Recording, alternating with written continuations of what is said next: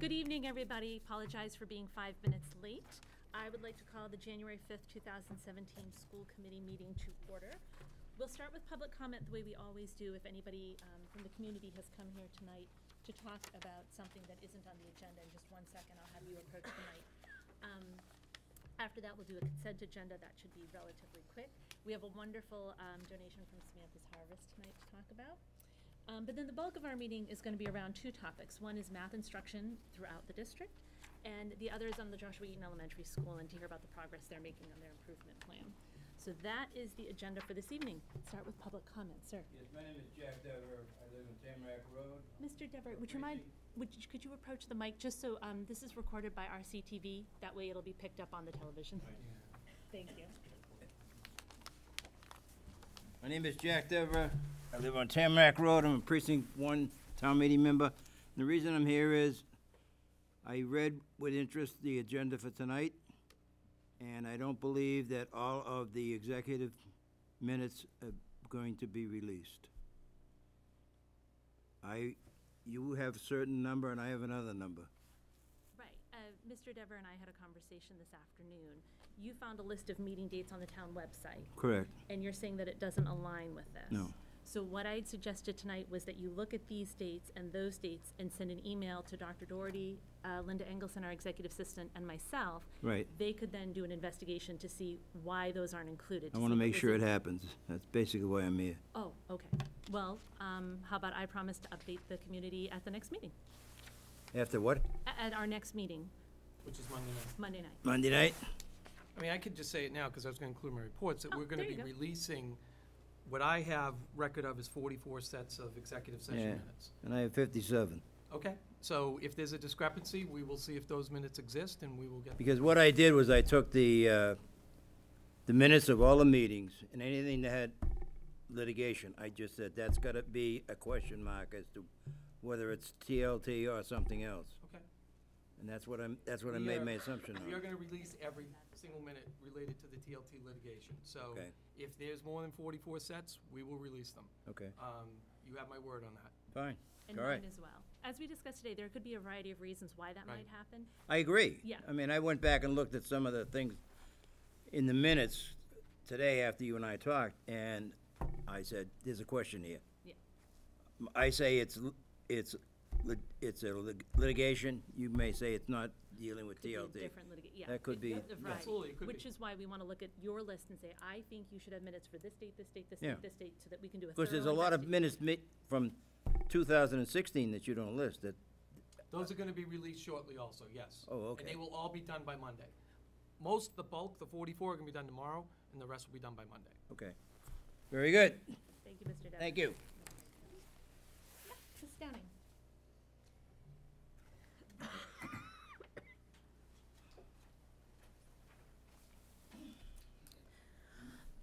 Good evening, Mary Ann Downing from 13 Heather Drive. So I'm going to bring up and something that's probably an elephant in the room to every parent in this room, but I'm going to try to bring it up in a positive way. There have been some, a lot of um, social media rumors and whatnot about the, the coming cuts, many related to teaching and possibly curriculum tracks.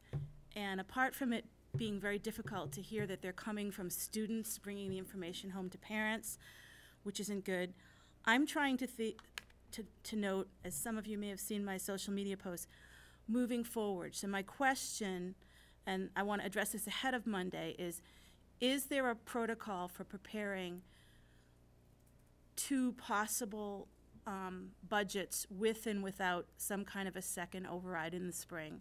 If parents were so motivated to lobby our Board of Selectmen, bring it forth, we, we can be within the deadlines, I've been researching it this afternoon.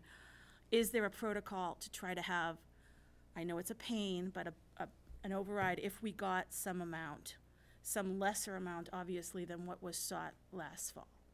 So that's just what I wanted to say. I don't know. I, I'd be willing, as a parent, to get on budget parent committees a second round and try to work on one of those parallel paths. But I don't know for, like Ms. Webb and Mr. Robinson, who've been in the school committee a long time, was, was this ever done before? I know back in the early two thousands, there was overrides that passed and failed, but it's been done in some places. So I don't know if you have to deliberate over that, or if it's, there's a question that can be answered, or maybe Dr. Doherty knows. I'll take a stab at it, and certainly if anyone on the committee feels that they want to add in. Um, I think the question of the process moving forward regarding an override is one that belongs with the Board of Selectmen. I think, as you know, state law puts that squarely and one hundred percent under their purview. So the school committee doesn't have a role in calling for an override. No, but it's so close to when town meeting has to vote on the budget. April, it's April fourth is the election date where it could be. So obviously, you would ha- have to be prepared, you know, weeks after that to go in one direction or the other, if, it- if it were possible. Yeah, certainly before we directed staff to invest any time in the, I mean, I've seen how much it it took to just make one budget. Um, we would certainly need clear guidance that that was the plan going forward from the Board of Selectmen, and I certainly have not heard that it is. Right, no, that, that is, my calculations is it would have to be, if it's not business days, it would have to be by February twenty-eighth, I'd have to let the clerk know. So things would happen, have to happen to be fast, but, I mean, if the goal of the teachers sharing this information was to rile parents up, it worked. And we're riled up, so I just wanted to pass that along. I'll just comment, in the previous override, there were two failed Right, overrides. I lived here at that time, but I And wasn't, The, you know, at that time, um, and first of all, the history of the town is that there's a very long, we've had very long time between overrides. That may be something that the community needs to address in a different manner going forward. But the, one of the other priorities was really, it got done and it got approved and passed because the entire town was behind it. It was not just for the schools. So I think, you know, I think that that's an important thing to keep in mind, and anything that is, again, as Ms. Borawski said, we have fiduciary responsibility for this budget and to, to try to put forth a budget that will serve the students in the community. And when we put forth the request for the override to the, s- to the selectmen, you know, we, we did that, but I think that we would, um, you know, we, I don't know that it would be in the best interest to just sort of be pursuing something that's just the schools. Because the, because I think we move better as an entire and I wasn't saying that, but we don't know what the town side dev- devastation is. It's, it's gonna be apparent within three or four days what the school side is. But it's, it's, it's not, but we've known for a long time, Jean's, uh, I mean, Yes, go ahead. We've known for a long time since Bob LeLacheur started the community meetings and, and we all participated, that the school department, that we've been cutting, um, for a longer time. We, we knew, and we do know, that these cuts, um, were gonna be deeper and, and, you know, eighty to ninety percent personnel related. So you won't see, um, I don't think you're going to see or feel cuts on the town services side that are going to be, you know, as painful as what we're, we're gonna be doing. I think, um, we should, But I think that's a discussion for next week. Yeah, I, I just think there's a, there's a lot of factors. There, wa- you know, the TLT litigation number came out a few days before, and it wasn't on a regular election day. There's a lot of things that came into play that even parents who didn't vote before might be having different thoughts this spring. It's just a thought. Thank you, Mr. Robinson. Yeah, No, back to your original question about whether there was a, pro- is there's a protocol, and I think you, you alluded to some of it. I mean, it's, the only protocol is, is to make the dates, and, and it is in the purview of, of the selectmen. I mean, that doesn't mean that we wouldn't necessarily lobby them if, we- if it was something, you know, that, but, you know, aside from all the value judgments as to whether we do it in April or not, the only, the only answer to your question is we have to meet the dates, and, you know, if we did that, then, then it could go on the ballot. No, as I've said before to this board, you know, Groton and Dunstable had two, two override votes six weeks apart. Yeah. And I know they're much smaller than we are, but where there's a will, there's a way. Thanks. Thank you. Thank you. Anybody else for public comment this evening?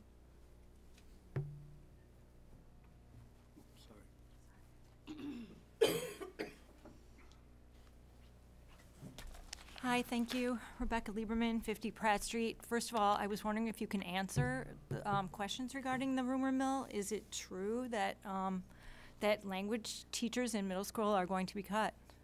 We will be discussing the budget Monday night. We haven't Okay, published it, so, um, and it's still being worked on. So okay. that's a question Um, that I'm, cannot. I'm just a little bit alarmed. I'm a budget parent, and I was shocked to read uh, in a post online today that, um, that, uh, and, and apparently it sounds like it's true. Um, a friend of mine contacted the middle school principal. The other question I had, uh, so you, uh, can you say anything about the, and you can't say anything about the high school tracks? Are we indeed, again, uh, planning to go from three tracks to two in high school? So That's not a budget. by, um, by our protocol and our, um, policy, I wanted to say laws, but our policy, public comment is for the public to come and, and share their thoughts and opinions, and we certainly want to hear them. But we cannot engage in an off-agenda discussion. The agenda Okay. item you're discussing will be discussed Monday night. It's on our agenda for Okay, Monday night. both of but, those. The, um, the tracks in the high Oh, school? thank you, Dr. Dar. We're doing overview Monday, yeah? So on Monday night, um, this was part of my uh, report too. So on- Okay. on Monday night, we will be discussing, we will do an overview of the budget. Um, We will also be doing the administration cost center and regular day. On Thursday night, we will be doing special education um, and district-wide services. Then we'll have, uh, we will not have a meeting the following Monday because it's Martin Luther King. And then that, that following Thursday will be um, the public hearing and facilities. And then um, you'll begin the discussion process, and then the following Monday, there'll be more discussion uh, with the vote scheduled right now for the 26th of January. So that's one, two, three, four meetings. The next four meetings will Yes. be on this topic. Yes. Um, But unfortunately, uh, principals have already been meeting with teachers, so um, doesn't that make it a, I mean, even if the, those cuts are reversed in the final budget, if you're a teacher, you're gonna be looking for another job, aren't you? Do you want Um, to take this one? Dr.? Sure, I'll be more than happy to. Thank you. Um, We have been meeting with teachers all week, It- and um, because we felt it was important, as a courtesy, to share with staff what the budget was going to look like. That we did not want them to hear it through social media or through TV. So that was the reason why we've been meeting with staff all week. So, uh, So that, Had Dr. Doherty not gone through that, he would have been presenting a budget which we have known for a year would include significant buts, um, cuts publicly on television, and staff would have had no, it just didn't feel like the appropriate way for staff to hear information like that. I, I guess I'm, I'm surprised. I thought budget parents would have a say, you know, maybe could we cut some administration here or something other than teachers? To be But- clear, what Dr. Doherty will be presenting is the superintendent's recommended budget. That does not go to town meeting. We will spend the next month discussing, debating. Discussing. In open meetings, um, the entire month of January, Monday, Thursday, as Dr. Doherty said, every Monday and Thursday, except for Martin Luther King Day when we don't meet. Um, discussing the budget, debating the discuss, and there will be, I- I'm sure, quite a lot of discussion. Oh, And thank so you. there will be, yes, absolutely. Thank you. And I just, wa- um, what I had originally intended to say before I learned this, uh, that these rumors were flying was, uh, I just wanted to mention, because I was at the meeting with the social and emotional health, and I know I've been like a broken record saying, uh, about how important it would be to get a middle track path to algebra and a straight path to calculus for students. I just wanted to remind people that that has a social emotional impact that's huge. The stress, I mean, in our house, it, uh, medical and um, it's not to be dismissed, and it impacts a lot of Reading students since uh, currently Reading, of all the park districts in the state, Reading is third lowest for percent taking Algebra 1. So, so, thank you. Anybody else for public comment this evening? Okay, seeing none. Um, I would like to invite, is it just Rob and Samantha this evening? Yep, just us. Um, Rob and Samantha Gibbs, uh, to tell us a little bit about Samantha's Harvest. Awesome. Hi Samantha, Hi. how are Sam's, you? Sam's a pro at this. I am. I know. Done it before. Well, actually, it's our 15th time coming up here. We thank you. Absolutely. Oh, hi, everyone. Um, we're honored to here to, to represent Samantha's Harvest to make our 15th annual donation to uh, the Reading Public Schools as a gra- grassroots local 501c3 organization. Our mission is to support organizations that enhance lives of individuals with Down syndrome. To that end, Reading Public Schools is an annual recipient of our funds because of the district's commitment to excellence in supporting students with special needs. Samantha and other students in our school district and, uh, with and without special needs have benefited from professional development and instruction that educators receive and is paid for by our donation. Right, Sam? Yeah. Um, As always, our donation comes with no strings, yet with the understanding that Ms. Wilson um, and her staff will continue to, with their uh, search and participate in professional development that will provide teachers with progressive, state-of-the-art tools necessary to educate students to prepare them for life beyond high school. Many of of you administrators and members of the school committee have donated and continue to uh, support Samantha's Harvest with your resources of time and money, and we are grateful that you can continue to do the the important work of making the world a better place for people with Down syndrome and their peers. Samantha has made an unbelievable transition to Reading Memorial High School, and it's due to the commitment and support of all who work with her every day because of all of you making educating students a priority. So we thank you again for the opportunity to partner with you in the educational process. Does anybody have any questions? I have question. Okay. You have a captive audience here, and I know from personal experience that some of your fundraisers are among the more fun fundraisers, so. We uh, try. Can you talk a little bit about how you raise funds through the years to support Samantha's Harvest, which ultimately supports our schools? So what we do is we do a golf tournament, and also we do a beer tasting, and then we do a road race, Mm, and right. then we do a, something else also. Well, we have done a lot of activities in the past. We try to find what people like to do, and Sprowski, you're right. We try to do fun things that people are gonna participate and help out. So our next, um, I'll do a shameless plug here, for our next event, um, will be at Bunratty's on March fourth, um, between the hours of two and five for a beer tasting, which was really successful last year. We had over two hundred people participating. Um, people twenty-one years and older, right, Sam? Yeah. and not driving right, because Bunratty's a nice local tavern for us to get home safely. Um, and so it's twenty dollars at the door. Um, and we also have a road race, um, which is right here, right at the high school, which is, 11th, which is June eleventh. How do you remember that? Because mom told us. Oh, mom told us, that's right. I thought you were gonna say it's a day before your birthday, Sam. Yeah, it is. All right, that's how I thought you remember that. That's how Sam remembers things. So, um, it has been a lot of fun doing the past fifteen years, and Sam, you are how old? I'm 15. Fifteen.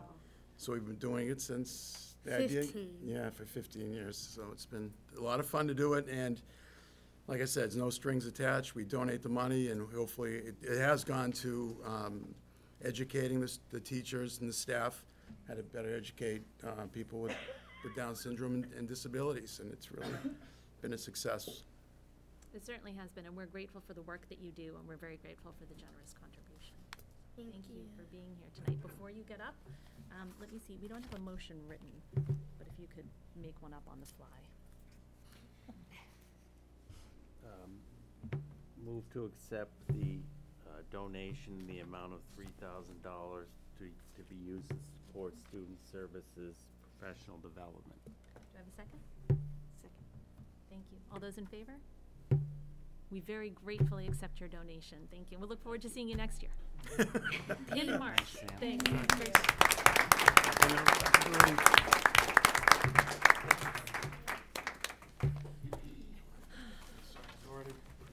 Thanks, everyone.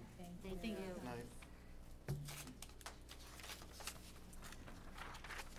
All right. Wanna do that? Thank you. Does any, uh, does anybody have anything they would like removed from the consent agenda? I do. Yes. Uh, I'd like to motion to remove the donation to Orbit uh, newspapers from the consent agenda, please. the Fidelity charitable donation. Got it. And that's fine. Uh, Is there a There's problem with the- uh, nothing with the donation. There's a discrepancy between the memo describing the donation and the donation letter in the amount of $4,500. So we'll approve that one So- separately after we've done the consent Okay. agenda. Looks like All that's- those to approve the uh, s- consent agenda as amended. That passes six zero. Um, Sorry. no, no, no, that's great. Um, to Mr. Boivin's point, if you look at this, um, it's maybe four pages, it's pretty quickly in the packet, four or five pages in, the letter from the Fidelity Charitable, um, grant program s- in, says that the, the check is in the amount of five hundred dollars, and the memo just erroneously said five thousand. I think it was a good thing to That's it. point that out for the public record. Yes. Um, So if we could, I'm gonna ask you to do it again. Can you do a, a motion for five hundred dollars? Move to, uh, accept, uh, five, the amount of five hundred dollars, uh, from, uh, to be used for the orbit from the uh, Fidelity Charitable Grant Foundation. For the Orbit newspaper, and this is on behalf of RMHS parents Bruce Cerullo and Kristen Lynch Cerullo, so a very generous donation. Second. Second, all those in favor? And that passes six zero. Excellent. Reports. Alex, how was your break? Okay, good. What's going on at the high school? A lot of things. Um, so we're back from winter break. Um, today, seniors had a meeting during Fox Block. Um, graduated students came back to talk to us about college today. Um, also, midterms are coming up, not next week, but the week after. Uh, juniors are doing real world problem solving. Um, also, on Martin Luther King Day, this is, uh, doctors probably will tell you about this too. Um, the Martin Luther King Day celebration, um, the RMHS chorus will be singing. Um, also, um, just a little bit about the track teams. Um, on Tuesday, they had a meet, um, the boys won the meet, the girls came really close, they lost by seven points to Winchester. Um, but they had previously won their meet against Arlington the week before. Thank you. Thanks. Anything from the committee? Yep, Dr. Doxer. Alex was right. So on Martin Luther King Day is going to be the annual multi-community Martin Luther King Day celebration sponsored by the Human Relations Advisory Committee and the Reading Public Schools. So we're hoping people will come out, out for it. It's a day off from school, but not a day off from thinking about our neighbors and our peers and making our community a welcoming community. Our theme is liberty and justice for all. And um, we have the high school choruses coming. We have the Friends of Metco Choir is going to be singing. Um, we have um, the Reading Civics Band. We have Senator Jason Lewis is coming to speak. We have a number of other um, things on the um, agenda, and Jamele Adams, a dean at Brandeis, is going to be doing a um, a rap that he's written specifically for this event. Um, we'll also have the tables and activities beforehand along with breakfast, a light breakfast. So it's a free event, starts at 9:30, ends around 11:30. Please come, bring, please bring your kids. We have a special artwork that's being done by Killam Elementary School kids. Um, so please come, bring your families, bring your neighbors, bring your state friends from all over, wherever. Dr. Doxer. Anything else from the committee? Well, before I turn it over to Dr. Doherty, this is not exactly a report, but I would like to acknowledge Mrs. Webb, who was recently the recipient of a really wonderful award from the Women in the Enterprise of Science and Technology. She was recently named an honoree as an unsung heroine doing extraordinary things, and I think as uh, a colleague on the school committee and as a woman, as an engineer, you really are an inspiration, and it's a well-earned honor. So I'd- I'd like to invite you all to. Very nice. And if that's it from the committee, so Dr. Doherty. Thanks. Want me just, I do have a quick Sure. um, which is very timely. I wanted to share an update on some professional development, which we are using some of the funding from Samantha's Harvest. This year, we did send approximately 11 staff to the Mass Down Syndrome Congress, which it has an educators forum that was in November. Um, we have 11 staff uh, who will be participating in a webinar um, on framing your thoughts, and we are using that grant, that gift funding to, to allow the staff to attend that and to purchase the materials for them to be able to implement this program. It's a written expression curriculum that teaches writing and sentence structure, so we do have 11 staff who'll be doing that. We also are, um, I've done some planning for professional development for the remainder of the year using some grant funding. We have Alan Bloom, who's a retired um, professor of special education, who's going to be coming in and working with our staff on IEP writing. So he'll be coming in the end of January to do some full-day work, and then he's going to be some, doing some coaching and targeted assistance in each of our buildings. He's going to spend at least one full day at Joshua Eaton as well to help the staff there. Um, we're also starting this month, going to be have Landmark School working with our high school um, staff. So we're very excited about that starting soon. So that's my update. You're gonna be saying a lot tonight, so. You're going to pass. Um, I do also have an announcement to make, uh, parallel to, to Ms. Borawski's announcement, that I'm very pleased to announce that, um, Carolyn here has, um, been appointed to the Massachusetts branch, uh, of the Board of Directors for the International Dyslexia Association. Um, this was an appointed position. Um, this was for, they were seeking a public educator with a very strong background in special education um, and uh, dyslexia and, and other learning needs. And Carolyn certainly is very well qualified to be a member of this board and to provide insight from a public school, perspective on, uh, on uh, this, you know, disability that, that, you know, we know affects a, a, a significant population of children. Um, we have, obviously, as you know, we have programs here at Joshua Eaton Parker and um, the high school uh, for the bridge program for students that, for those types of learning needs. So congratulations to Carolyn on this great honor. Um, Look forward to hearing from, from her on some of the things that she's going to learn. Congratulations. I'm- I'm going to interrupt for one second, Dr. Doherty. I think that's a tremendous honor and congratulations and w- well-earned. But I also think it seems like a really nice opportunity for you to network in a much broader way and bring back what you learned to the district, so. Yes, it's very exciting to be part of a board like this that is focused on both the research side and the education piece and on the policy work that's being done around dyslexia. So It is really exciting. Congratulations. Thank you. A couple other things uh, before we move forward. Um, In your packet are the two annual reports for our two special education collaboratives, uh, the SEEM Collaborative and the North Shore Education Collaborative. Um, So those are for your information. Um, Those were approved by the, the Board of Directors for both collaboratives um, at our recent uh, board meetings. Um, And I'd be more than happy to answer any questions, or Carolyn can as well, on, on anything you may have about, about those reports. Um, Also, office hours for this week and next week. Um, Tomorrow, I'm gonna be having office hours from quarter of eight to quarter nine in the morning at Killam.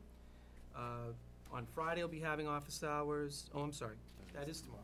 On Saturday, I'll be having office hours uh, here from nine to ten in our administrative offices. And then next week, I'm gonna have office hours three times. Um, Two o'clock to three o'clock on January tenth at Coolidge, uh, seven fifteen to eight fifteen in the morning on January twelfth at Parker, and nine to ten in the morning on January fourteenth here at the administration offices. Um, Been getting some, some uh, vi- visibility, people have been showing up uh, with questions, concerns about a variety of issues, and it's been a great way to, both from staff and the community. So that, it's, it's been a good opportunity to answer people's questions or clarify things that may have been lingering out there that they may not have been able to get the answers to before, so. And as I mentioned earlier, when, during the public comment, we are releasing forty-four sets of executive session minutes on the website tomorrow regarding the, um, high school litigation settlement, and then there are a few more that will be, the rest of them will be releasing on Monday, and if there are any discrepancies, we'll be more than happy to go back and look at to see if there's any others that need to be released. But, um, Linda and I went through all of the minutes, um, last week and were able to release them, Thank you. and that's it. Right. I think we're ready for, um, we are doing the math update before We're we. do Josh Reed Uh, first. Yeah, that makes sense. Yeah, okay. All right. Mr. Sprung, thank you for being here tonight. I'm really looking forward to hearing from you. Happy to be here. Um, Can I just give a short intro to Yes. to Mr. Sprung? So, um, Mr. Sprung needs Stay no up. introduction. So one of, the- one of the things that we talked about um, when Eric came in the fall was that we would give the committee regular updates on the progress of the Joshua Eaton School Improvement Plan. So this evening is the first of those progress updates. Um, And I know Eric has got um, members of the school council here, teachers, parents, um, to, to talk about uh, the things that are going on at Joshua Eaton. Thank you all for being here tonight. Oh, yes, Mrs. Could we, could you just briefly introduce people? I, I want to make sure that at, at some point, we just sort of know who people are. Yes, so, um, again, thank you for, for having us here today. We have, um, members of the school council that are here. Um, there's a number of staff that are also part of the school council that have joined us. And so, um, I don't wanna miss anybody, so Ed Orsini is part of our school council. Um, Michelle Ofelis is one of our classroom teachers is here. Sandy Emery, a classroom teacher. Jamie Quinn, one of our classroom teachers is here. Um, um, Eileen Manning, um, is part of our school council is here. Um, we have a number of parents that are around the room. Um, and I'm gonna allow Christine Lusk, who's a co-chair of the school council with me, and she's gonna, uh, start us off and say a few words about things that are happening, and then I'll jump right in. As Mr. Sprung just said, my name is Christine Lusk. I think I've met most of you before, um, especially two years ago when Joshua Eaton was first a level three school. You may remember me from that. Uh, I'm currently the co-chair of the student coun- the school council at Joshua Eaton. I have a fifth grade son and a third grade daughter. Um, so thank you for having us here this evening. And I just want to tell you a little bit about how the school council works at Joshua Eaton. I know that every school does have a school council, um, but I think it's important to know just how involved and dedicated our school council is. We have teachers, uh, Mr. Sprung just introduced you to most of them, but ranging from kindergarten through fourth grade, and parents ranging from kindergarten through fifth grade. So we really get a good spread of the school, as well as a good spread of different backgrounds, um, you know, in teaching areas, as well as, you know, different concerns with our children. And as a council, we meet once a month. Um, Eric and I, or Mr. Sprung, sorry, and I meet more frequently. Um, and it's a very involved council. We really dig into the data together. Um, we certainly challenge a lot of the data. Um, and of course, you know, we hear, um, challenges that maybe the parents or, you know, how we might better support, uh, the staff at Joshua Eaton. And I just, two years ago, when Joshua Eaton first became a level three school, you know, I was probably similar to many parents, I was really concerned about, you know, what that meant and where we were as a school. And what's important to realize is that that didn't happen overnight. So here we are two years later, and we're saying, well, why are we still level three? Well, something that didn't happen overnight certainly can't be fixed overnight. And as you know, one of the goals, or one of the, the primary job of the school student, of the school council is to come up with a school improvement plan. And we really encouraged or pushed that the school improvement plan not be just solely about raising the PARCC scores or the MCAS scores, because we recognize that there's so much more to what makes school a really re- rewarding place for our children than just the test data. And it's really important to stop and think and look at everything that is going on at Joshua Eaton, not just those test scores. Um, so what we did choose for our, our goals were that Joshua Eaton staff will meet the academic needs of all students, and the focus will be on closing the achievement gap for all students. And Jo- Joshua Eaton will continue to improve our communication and continuing to foster a positive partnership between the school and community. So as Mr. Sprung gets into the data, you'll see that we have made several gains over the last couple of years, and especially this year, we're really making significant gains. Um, there's still work to be done, but we're definitely plowing forward. Um, And if anybody does have any questions, you're welcome to come to me, you're welcome to come to Mr. Sprung always. Uh, and thank you so much for having us. Thank you, Christine. Um, and so as I go through the presentation today, there's some, certainly some data that I'm gonna share with you, but it's been a collaborative partnership, um, which is why the school council is here in terms of the, the language and the conversations that we use and the parents that, um, that I have an opportunity to work with on a regular basis are really supporting the work and they understand how much time, effort, and energy that the staff is putting into their job. And when you um, look at information and you start to learn about what's happening in a school, you realize that change takes time. And the number of initiatives and programs that I'm going to walk through today, um, they're taking a lot of time, effort, and energy. So I give the staff a lot of credit as we continue to, to push ourselves to, for continuous improvement. Um, there is a real feeling of partnership that we're all understanding of the direction that we're trying to go as a school based on these two school goals. And part of the data that we look at is certainly the PARCC data. Um, and as you, you know, um, as, as parents in this community, PARCC did a, they didn't have the best information when it came to really digging deep into understanding the scores. So we had to pull out what information we could find that gave us an understanding of what were some of our strengths or what were some of our challenges. Um, so they, PARCC breaks it in from a literacy perspective into these five categories in reading and writing, and then these four subcategories in math. And we started to realize there are certainly some areas that need improvement. Um, that we we identified that there are a number of students that were near or below what we wanted them to be in these particular subcategories. So this was the first step for us in starting to dig a little bit deeper into the data. And then we wanted to find what are the, the district data points that we can use that will help be determining factors on how students are gonna do on the PARCC test. And one of the pieces of data we use as a district is our benchmark assessment in reading. And the data says to us um, that we're supposed to have a pretty close correlation when we look at the benchmark assessment to how our students performed on the PARCC. And, and as we look at this data, I'll summarize it for you, that we didn't see that close of a correlation. Um, and so it started to raise some questions for us as a school. How are we, how, how are we doing this test at the district level? How are we looking at our benchmark assessment if it's not having that direct correlation? And so we had some conversations across all five elementary schools actually about the benchmark assessment and are we doing the assessment in a way that's being a good predictor for us on how kids are doing PARCC. And when I get into the later parts of our conversation, you'll start to see we actually have done a lot of training and work around this benchmark assessment so it can be a better predictor for success when it came to the PARCC test.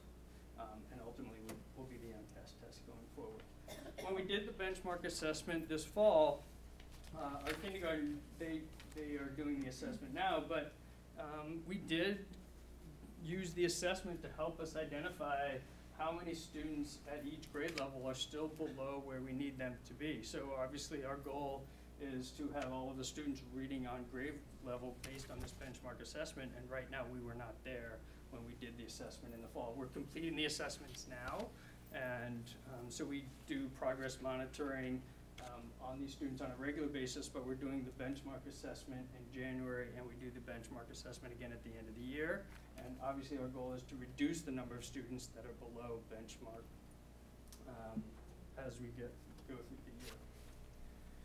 So this data that we used helped us understand we need to improve um, our literacy practices and help us, and also look at how we use the benchmark assessment and make sure the benchmark assessment is giving us real, real solid information um, to improve our practices. So, um, in conversations with the superintendent and the assistant superintendent, um, we met with the literacy coach. Um, and what we made a real strong effort to do was bring in Tristan to say, look, our literacy practices from grades K to three really need to shift.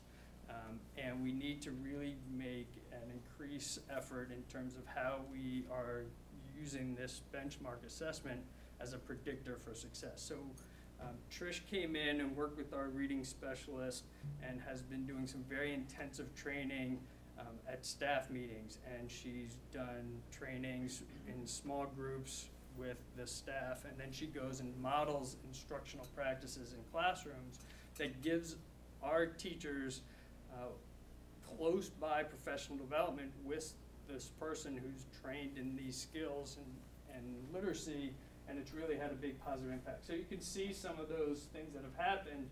We've done some writing training again. Trish has done a lot of this work, and also changing the expectation and routine in grades K to three. And she's using the Lucy Calkins writing um, reading program as a guide for this practice. Um, we because of this additional time that our reading specialist and Tristan need to do in classrooms with teachers side by side work, we hired an additional tutor to work with small groups so our reading specialists get have more time in classrooms working with teachers, so teachers have the support that they need. Um, you'll, you'll see that, uh, I'm not gonna read through this, um, the entire list, but certainly the, the routines and practices that are happening require more professional development for teachers. So we're bringing in, um, substitute teachers, so our so our teachers can have some additional meeting time and additional prof- professional development where they can meet with the literacy coach and they can meet with the reading specialist, so they can have that training. And then ultimately, when they're going back into their classrooms, we're, we're finding that that's having a big positive impact on what the reading instruction is gonna look like. The math program, um, one of the things that we're fortunate to have happen, and I'm sure you're gonna hear more about the math program, we, we have a new math assessment that you're gonna hear about, and that's gonna be taking place where we're gonna have a better understanding of student progress in terms of their number sense, and I think that's gonna have an impact on what, what instruction is gonna look like and be more targeted.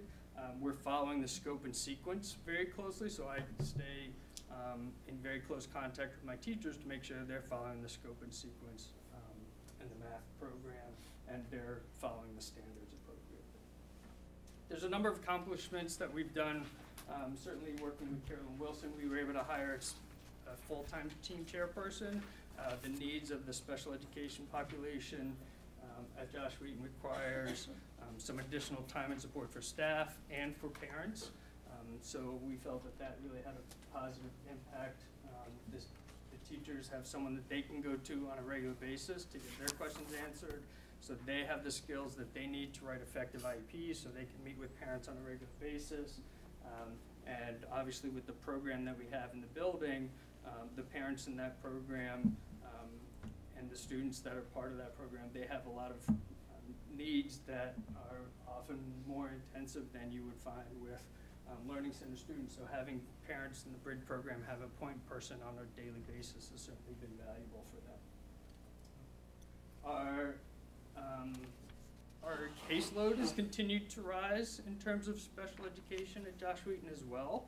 Um, so when we started to look at caseloads across this district, we realized that Joshua Eaton needed additional staff. So we're actually also hiring an additional special education teacher for our learning center. Um, I'm pleased that we have some partnerships that have also been influential in the work that we're doing. I meet with um, our representative from the Department of Education, we call them um, our DSAC group. Um, they've helped train me on what learning walks should look like, and what a learning walk is, is when teachers go and have opportunities to observe other teachers. So um, I'm working with the DSAC to, for myself to get trained, so I can ultimately go and train the teachers, so they have an opportunity to learn from each other. Um, I've worked with personally the principal in Peabody and Melrose, uh, and again, Tristan has been helpful in reaching out to North Reading. They have some really great instructional practices in literacy that we're finding our teachers are able to go there and learn from their practices. Um, For MCAS and PARCC, um, you're gonna hear a little bit in a few minutes from Jamie, who's helping me with an after-school program. Uh, We've also been making sure we have consistent instructional strategies when we talk about when the students take the MCAS test. We want to make sure that we're using the same language across the board in grades three, four, and five. So when te- when teachers are teaching strategies to kids, um, they're hearing the same thing year over year in terms of what those strategies are going to be. And we've seen, as in our initial training with the MCAS test, there's gonna be more requirements in terms of written responses to questions. So they haven't released the questions just yet, but once the questions come out, we're expecting there's gonna be a lot of written responses that are gonna be required for third, fourth, and fifth graders. Um, Christine mentioned communication is a big part of the work that we do, and that was one of our goals. So we have a communications committee that I work with, and so we've been uh, fortunate to work with them to revise our newsletter that we send out to the community on a regular basis, and we try to make sure uh, that the information is there um, that keeps the parents informed about the work that's happening with our school council, um, as well as within the building, and we try to have regular postings to our face, to our school Facebook page, which actually is highlighting some of the strengths of our school, because I think, uh, one of the things that Christine brought up is our school is more than just our scores, and it's more than just all of the work that's happening around data and instructional practices, um, but there's actually some really great work that's happening, um, at assemblies and classrooms, uh, we just had every single student in our building participate in hour of code activities. All of those things are really important um, and should be highlighted as well. So I'm going to turn it over to Jamie Quinn. So Jamie and I work closely together um, on an after-school program, and she's going to talk a little bit about how that's had a positive impact on. We're very excited to offer this program at Joshua Eaton. It's been wonderful. Um, we have so many staff members and dedicated people that are working and students as well. We're meeting on Wednesday afternoons. Um, we start in December and we're gonna go until March. We're meeting three times a month for twelve sessions in total. And we have sixty students participating in grades three, four, and five. We have ten teachers that are working hard every Wednesday and planning and working together in collaboration to help support the students, and this is the list of all the students' uh, teachers' needs. We are regularly updating parents as well and letting them know what's going on, what we're working on for skills. And we're also supporting our METCO students who aren't able to attend, some are able to come, um, and we're supporting them with, um, online resources of MobyMax and also some tools and links. Um, this is what a typical session is looking like. The kids come in the room, um, beforehand get snack, they hang out in our room, um, and then they go for their math intervention. They're working with the teachers, and then they're doing some PARCC practice, MCAS practice, and then they have a little break, which they enjoy. And then we do our ELA intervention and our PARCC practice and MCAS practice as well. So some of the goals we have for the sessions is we're doing some specialized small group interventions, some problem strategies, solving strategies, when answering questions like Eric talked about, with that consistency with the language. At each grade level, we're working with math and number skill, number sense skills, place value concepts, basic operations, working with geometry and fraction practice, and in English language arts, we're working with genre text features, tone text clues, main idea, drawing inferences, finding evidence and details within the text, which we know is so important um, understanding themes and stories and poetry analysis, and then the writing strategies for the open response, which again are gonna be a big factor coming up. We also are, are starting to incorporate some technology practice for the kids, which is typing, we know is a big factor as well for this test. And then we're also, um, offering home se- session, home and session-based MobyMax support and offering it to the students at, uh, different times for all students in the. Thank you for having, letting us you. Um, so just as far as next steps go for us as a school, um, we're, the staff is gonna be receiving in grades K to three, um, training on the, a new math assessment, which is gonna help drive some of our instructional practices. I'm sure you'll hear about that shortly. Um, we're gonna be visiting schools in North Reading who have been using our, the reading program that our teachers are getting trained on, so we can have some model lessons from the um, that are already using those instructional practices.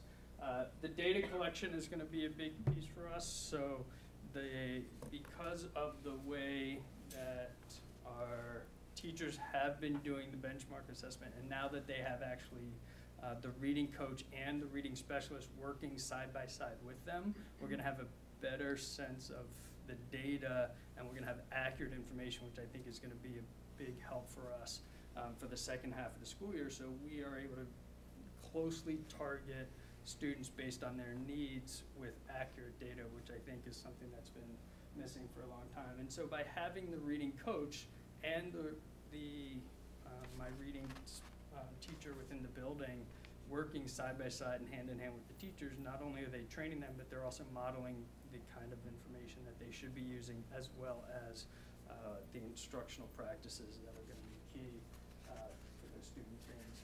We're trying to, um, continue with our, uh, communication to the community, so I hold regular coffees, um, and I also hold regular reports just specifically about the work that the school council is doing, uh, and that the staff are doing in terms of their instruction, uh, so parents can ask questions, um, of me when it comes to what does instruction look like, what are the changes, what are the shifts that are happening, and I think that's really been something that's been positive, uh, so people can have some firsthand information about what's been happening in the building.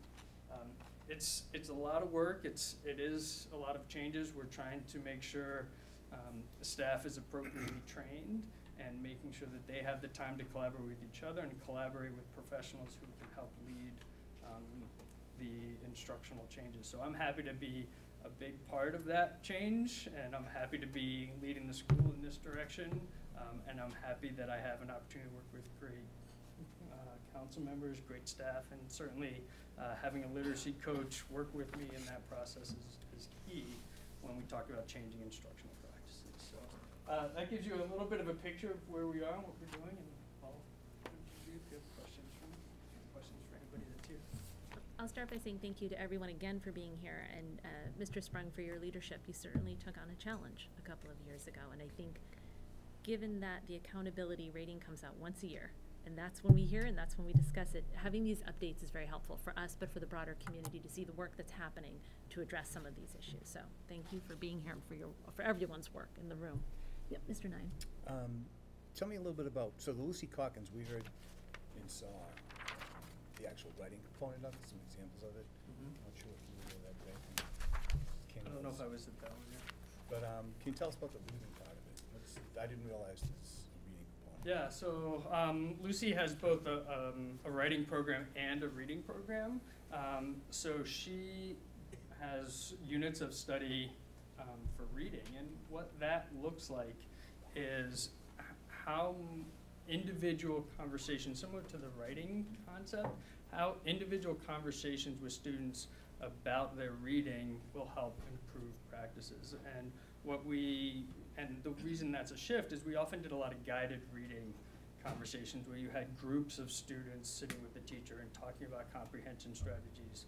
Um, but this actually allows for students to have more individualized conversations with teachers about specific skills um, for that's more individual based. And you still have the comprehension strategies that are going to be important, um, and you still want kids to have lots of opportunities to read text. Um, but by doing more individualized conversations, you're able to target what individual students' needs and help them move through the levels quicker, as opposed to in a group setting where often the group would move between reading levels. This actually has individual opportunities for students to do that, and it requires more time uh, and resources for us. So kids spend more time reading. Uh, so we each kid has multiple books um, at their reading level. So we want kids to be through books and and working through those comprehension strategies. And then we model um, in small in in these individual conversations what kids should be thinking about and how kids should be um, responding to the text um, in, on an individual individual manner. So, um, this goes way back to my elementary days, which is a ways back as a, as a teacher, assistant principal. Um, there was always that little, uh, discussion between, uh, phonics and whole language. Mhm. And where does this fit in, the the Lucy Calkins? Um, I would say it's it's probably not either. Um, I think phonics is really just looking at the how kids pronounce words and sound out words and letters and sounds. Certainly, that's an important skill, and our foundations program really covers that, which is important. Um, I guess I viewed whole language as um, more kids would just read books and then they'd start to gain knowledge, but I, I think this is more hands-on for teachers and students working side by side. Um, and teachers modeling the kind of language and the kind of thinking we want kids to have when they're reading text. So I think this is, it has a real more hands-on approach than really a whole language would.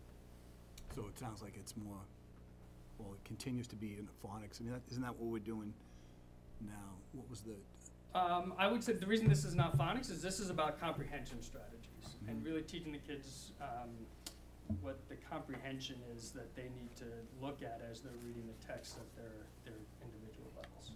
what- what was the uh, program that you mentioned, the um, foundations? The thank you. foundations, Yeah. Yeah, That's the phonics. foundations is phonics, Yeah. yes. And what grades is that at? Uh, we do that in grades K through three. K through three? K through three, yeah, okay. And then one of, the- this might be more for Dr. Doherty. Wh- When, when is the Department of Education gonna release the questions? Does anybody know? I know it's kind of a controversy. They have not been releasing the questions for the PARCC. They have not? They have not been. They, they do When- have some sample questions on the Right, that- PARCC website. They do. do If you go to the PARCC website, there are questions released. We're doing MCAS though, right? Well, now we are, yes. Yeah, no, so that's what I'm, I'm asking. Don't you usually get, you just mentioned it, you just said that. Yeah, the, the, the state, um, gave, gave a presentation to administrators about a month ago, and what they said to us was they're gonna be releasing sample questions in January. So, we anxiously await when that's gonna happen. When do, when have we had them in the past? Has it been comparable or? Um, well, in the past, it's, I, it's hard for me to remember because You get in the after. past, we look But I at the year before. We got them after. I think you're thinking of the after, so. Yeah, I think so this like time- this year, No, I'm I'm talking about the sample ones, the, the ones that you'd use as a classroom teacher to prepare them for. Well, we're really waiting for those, because it's gonna be a new Right. type of test that will Right, probably be very exactly. similar to the. But wasn't there, test. would we just use p- past experience for the Yeah. questions? But that we- usually after each um, administration of MCAS, the state would also Give you- release a certain percentage of actual Right, questions right, with the actual which you would answers and use. results that were very valuable to Yeah, I us. guess I'm my point assuming the was- state will do that again in the, s- in the Yeah. spring, summer. I guess my point was, when would they release those? That would be earlier than, uh, January, right, in the past? It just seems like it's putting everybody at a disadvantage by releasing them. It seems to me it's late, that's all. Yeah, it is, it is late for the, for, certainly to look at what MCAS has looked like. Right now, with our after-school program and what the teachers do is they're actually using last year's PARCC Mhm. questions that were released, because we're assuming, and maybe this is not the right assumption, but we're assuming that there's gonna be a pretty close correlation between the PARCC and the MCAS. So, um, the after-school program and the classroom teachers are using, right now, we're using last year's PARCC Yeah. as a way to practice. Yeah, I would assume that you'd, you'd do something to that extent, but I just, a little frustrating to see it take so long to come out. Um, how much time does the, um, literacy coach actually, how much time is she, how often is she in your building? I guess the Uh, question. daily. Daily? Yep, yep, and she's in classrooms probably maybe three hours a day. Um, and then she also helps run staff meetings, so I use my staff meetings as training opportunities as well. So she's in, uh, she's in my building daily, working side by side with the teachers and then also run staff meetings with me. And then you had the reading tutor, that Title One? Um, the reading specialist. Oh, I know the um, reading, reading specialist, but you, it was mentioned that was a reading tutor Yes. to pick up. Yeah, so the reading tutor, because the, my reading specialist and the literacy coach work very closely together, um, that my, and my reading specialist used to do a lot of tutoring. Right. And what I wanted my reading specialist to do is actually be more of a coach. Yeah. So Trish and the reading specialist are now coaching, and I, the new tutor I hired can do more intervention. But was that Title One, I guess, was the? It's not Title One. It was just a a reading tutor. Right, Great, thank you. Keep up the good work. Thank you. I think Mr. Robinson had a question. Thank you. Uh, Good presentation, appreciate it. It's been a, been a little while since we've had an update. Uh, I guess one of the things maybe, maybe for the next update I'd like to see uh, is, I know some of the things are ongoing, but kind of a, maybe if we can put timeline as to when things were implemented, so we can get a sense for how long we've been doing it and whether it's working, uh, because of a lot of things that, when you look at this, it looks like a lot of those things are things we're just implementing now, and I know that's not the case, because we've been working on this for a couple, few years, so. I think that's a great suggestion. Yep, Mrs. Webb. Um, I, I just want to say that I appreciate the fact that you're going to this detail. I think some people might look at it and say, you know, this is a lot, it's a lot of people here, it's late, everybody's already worked all day. But I think it's really, really important that we get a sense of these details, because we can't make the decisions that we need to make in the next month and a half, or really at any time with regard to, you know, how, how we resource the district without it. And it just, every, every time I have the opportunity to hear the level, this kind of detailed presentation, whether it's about, you know, a specific school or a literacy program or the math program, I am just continually sort of uh, re-amazed at the um, intensity of the level of resources that's required. And that it, it just, and that students continue to, you know, we continue to require. So um, I, I just think it's, it's important and, um, you know, we've got some really critical discussions in this community, um, if we're gonna continue to do this. So I have a question about the math assessment to train the, train, who, who's doing that training on the math assessment? And is, or is that math assessment going to be discussed in the next presentation? Okay, so we can put that question aside. Um, and that, then I have a question about the reference made to the new MCAS and about the written responses and more written responses and the typing. So can I just ask, are the third through fifth graders who take MCAS typing their written responses?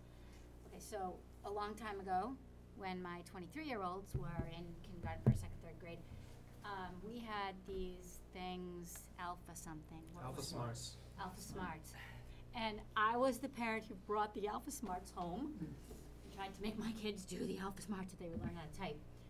And we really didn't have, there was no time in the day, there was no capacity in the school day to really teach the students how to properly type. And so I'm just, I'm wondering, are we still using the AlphaSmarts? How are they doing this? How, I, I, in my head, I can't even imagine a third grader being able to type well enough to create their response. They, I, I do remember my kids in third grade and how hard it is to get from here to here and write, let alone type. So I'm just like, I'm blown away. Sorry. Yeah, I mean, we have a typing program in the district, um, that we use in, in, starting in third grade called the Typing Pal. So it is, it, it's something that's part of our instruction now, um, but the point that you're making, which is not just the, the physical act of typing, but the actual thought process that, that kids have to go through is a factor, um, and that's why it's one of those things that we'll continue to work.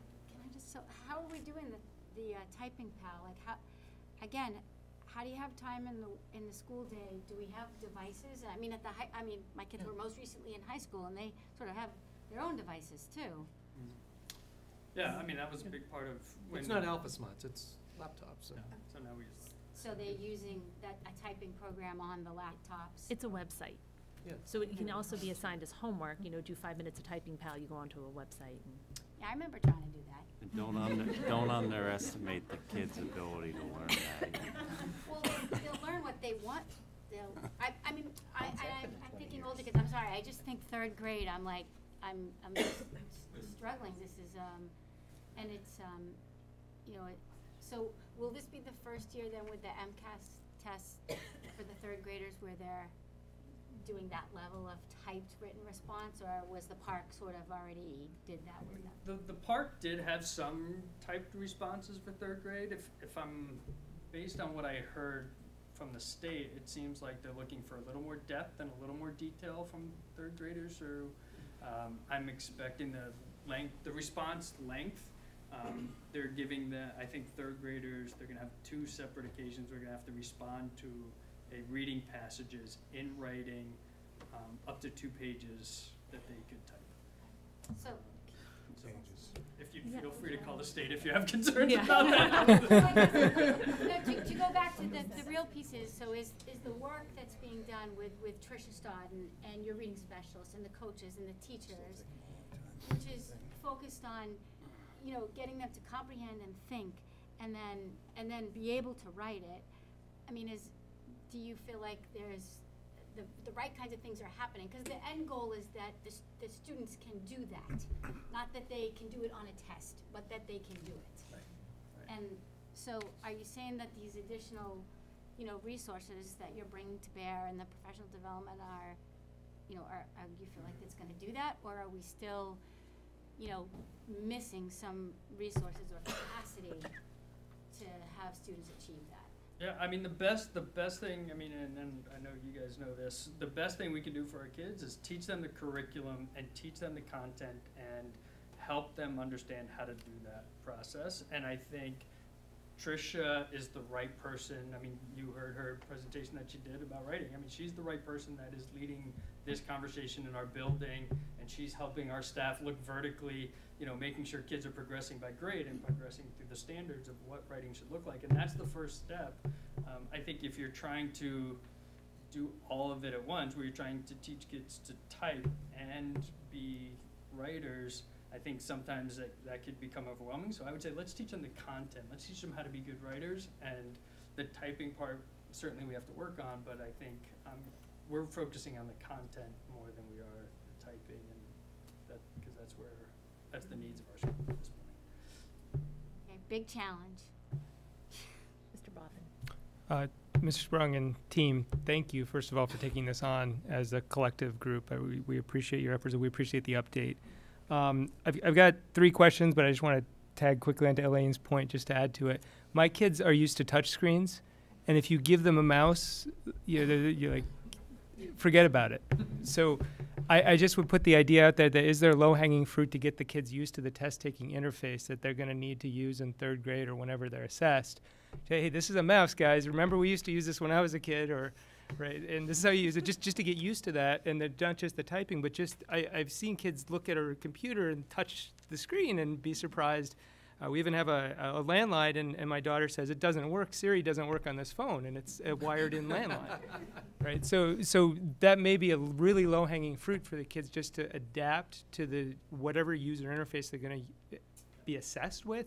And the state puts something out too that helps Okay. train kids and helps teachers train kids on how to use the interface. But but using that in other areas of the classroom might be helpful too to just not make it a, a you know no, okay tomorrow we have the test this is a mouse this is a keyboard that's what you're going to do tomorrow but uh, make it fun and integrate it into different parts of the of the curriculum where you can. Um, but three three questions substantively. One is about benchmarks.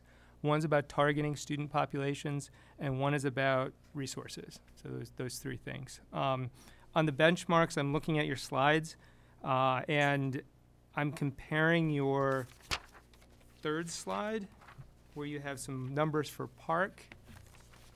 Uh, one before that. There you go. Okay. So when I do the columns for three, four, five, I get numbers like 90 to 100. Okay, on reading on the top score. Go forward two slides, and I get numbers there. If I take three, four, five, I get a number of 45 right? So what I'm what I'm getting at is is our benchmark. You mentioned before we're working on getting better correlation between our benchmark and as a predictor of of progress. I understand that there's more inputs than the PARCC test, and that we're not going to do the PARCC test again. But uh, what can you tell us about how the progress that you're making in getting that benchmark to be as helpful as possible in measuring the goal that you're trying to achieve? Because what I see here is 45 students missing the benchmark and twice as many students missing um, the, the the different benchmark of a PARCC test. So tell us about that. Um, so when I, and part of it is just some nuance in language. So when, when I talk about benchmark, there's something we call our benchmark assessment.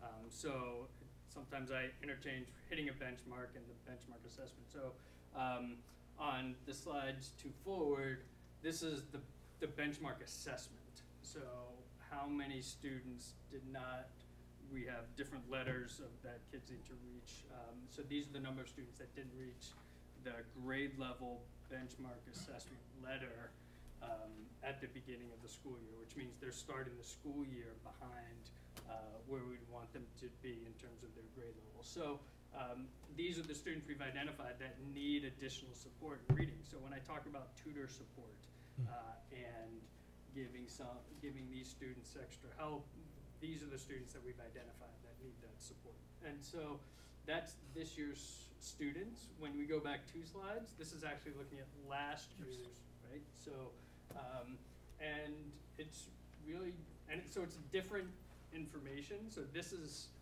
this is PARCC data is not, does not have anything to do, well, it's not that it doesn't have anything to do, it's just not a benchmark data.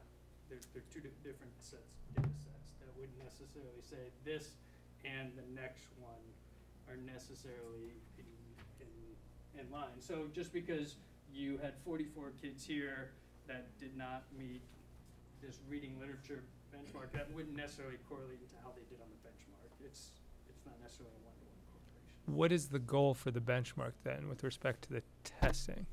Well, our goal when you take, when we do, so I'll use this one because this is the Canal benchmark. They, we do red, yellow, green, and blue, obviously. So we want to get all our kids in, in this green level, and it's different whether you're in kindergarten, first, second, third. So the, the benchmark at the end of kindergarten, for example, is a D.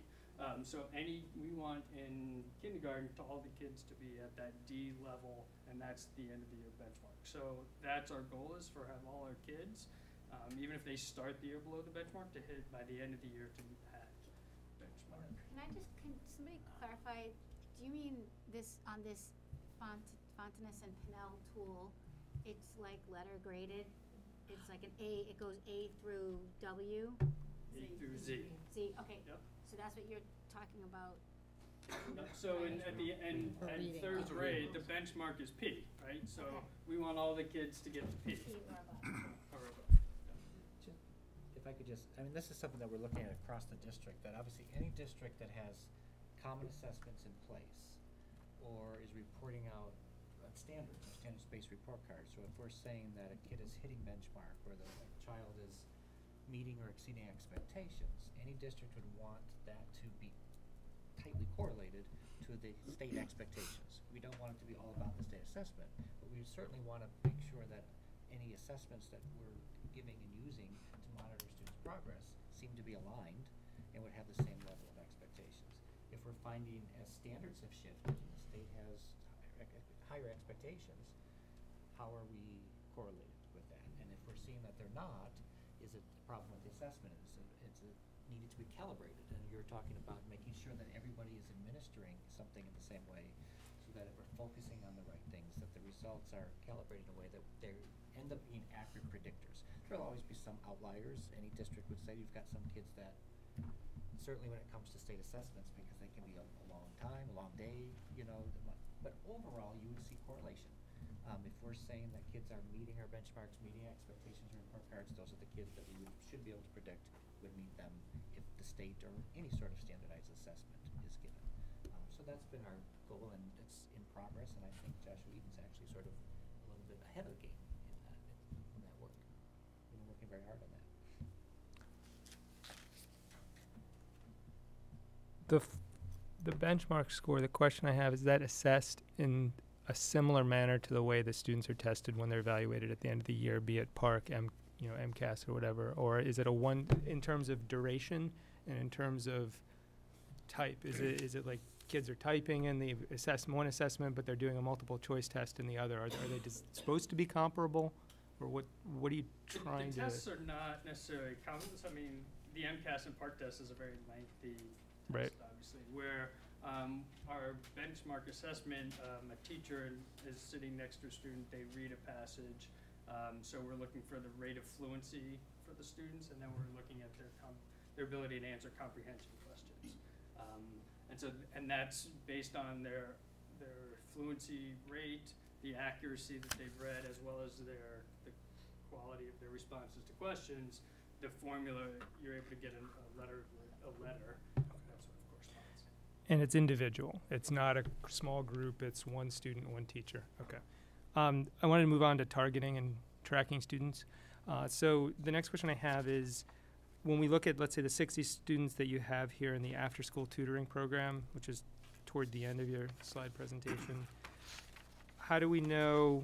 You how do you recruit those students? How do you identify them? Is it just an open forum and the capacity of 60 and the first 60 get to do it? Uh, tell me about your efforts to target the students that most need the supports. And secondly, once you've done that, how do you know that as they move through the system, so this last year's third graders become this year's fourth graders, and the fourth graders become next year's fifth graders, do you track their progress both on the benchmark and any other testing that the state requires? Um, certainly. So um, these, we identified students looking at last year's PARCC data. So we took all of the fourth and fifth graders that were below the benchmark on the PARCC test. So they scored um, a, a one, two, or three on the PARCC test. And then for our third graders, we took that group of students that were below benchmark in reading.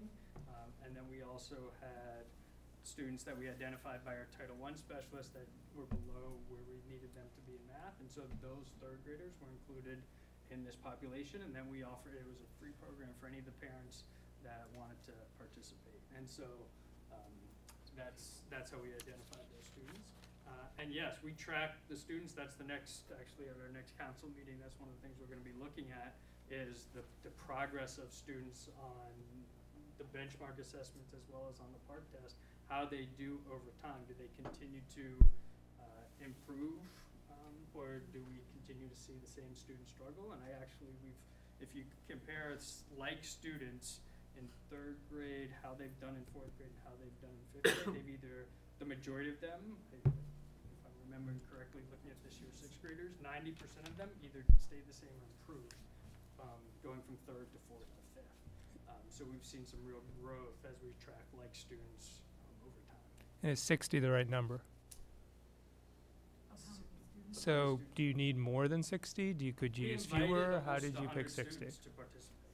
And those are the ones, that's how many chose to. Yeah. And then just with the student-student dynamic, y- you know, is there any concern about students being perceived in some negative way for attending a remedial program or something like this? Is it, how, how are you handling the student perceptions of those students who participate? Um, Good or yeah, bad? We try to be cognizant of that. We try to make it as, as a um, enjoyable atmosphere for them. Where we know that these are, often these are students that um, school can be hard for them anyway. So the first thing they do when they get out of school is they have a chance to be social and talk and eat and have a snack. And, and then halfway through the session, they get a chance to run around and play. So um, they, they're, they learn through games, they learn through, we have a computer-based program that we use. So we try to make it as interactive and enjoyable for that two-hour block that they're there. Um, and that's the way we try to factor in their, their perceptions of who they are as learners. Last two questions. Point out Yeah. similarly, um, we do have a morning math program that meets twice a week, so several students come to that as Mhm. well, and then there's a math Olympiad that meets once a week after school. So many students are coming either before school or after school for various programs, so I don't think students necessarily say, oh, you're in the remedial program, or you're in the Good. Olympiad program, it's kind of like, oh, you know, it's just like maybe a Jeep." uh, an enrichment program. Good, good. Uh, last, last two questions. W- First, what do you do for the other 40 if you invited 100 and 60 came? How do you reach the other 40? And lastly, can you tell us what this effort needs for next year to be successful in your view? When you say this effort, like the this- effort, everything we've discussed tonight, what what is making it work? And you, there's a couple new resources and new new people that are involved. There's some coaches involved. There's a number of things we heard. W- in your view, what is making this successful and driving that success? Um, so just quickly, um, the other forty, the, the best thing we can do for kids is during their instructional day, and same thing with these sixty kids, you wanna make sure they have interventions and support during the school day. So this remedial program is, is an add-on, and it's nice to have, and certainly, um, you know, we, we believe it's successful, but the interventions and supports during the school day are really critical, and good quality instruction, um, is really what's gonna make the difference for all the kids.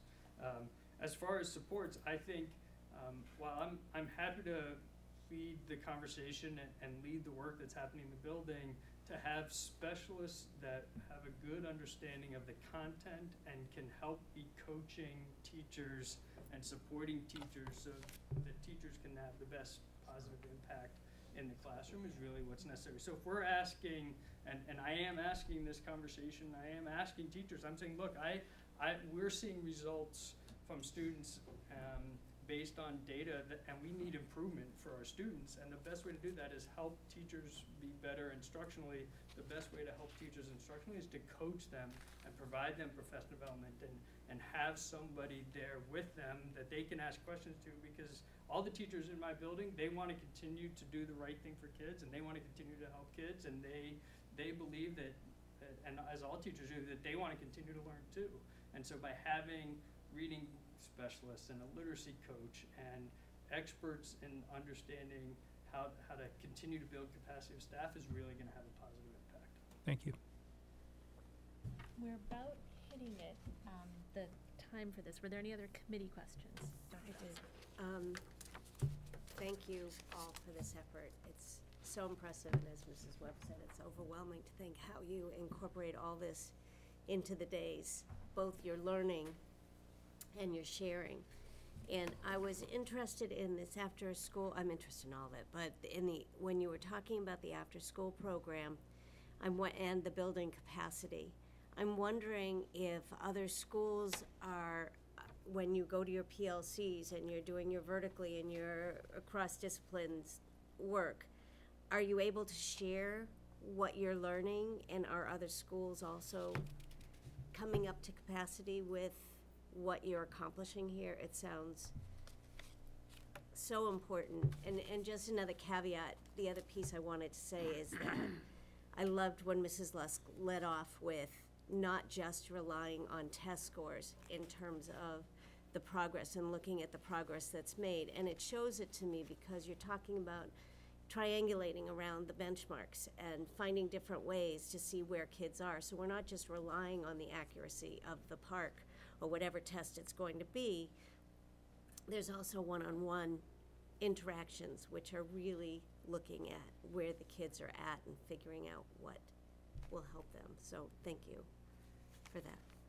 Um, I mean, the, the shift that we're, that, that's happening at Joshua Eaton in terms of our literacy instruction, so that's the read, the reading and writing, um, is a, is a pretty, uh, pretty seismic shift, and I think, um, we've started, Craig and I have started to have those conversations, that, that the shift needed to happen at Joshua Eaton, and so we're, we're sort of starting that process, um, at Joshua Eaton, and then watching it evolve at Joshua Eaton will then potentially lead into the other schools. And certainly Craig and, and I'll have conversations about what are ways that we can support staff across the district if we decide um, that this is, we're gonna continue with that model going forward across the other schools. Uh, That's where we are. Cor, uh, sort of a follow-up to that, a thought that I had as you were presenting is it seems clear to me, and I think we know this, we've been transparent about it, we are putting more resources here Yeah. than we are in other schools because there's a need. So I- there's no need to, to shy around that fact. More resources are going into this school right now because the need is there.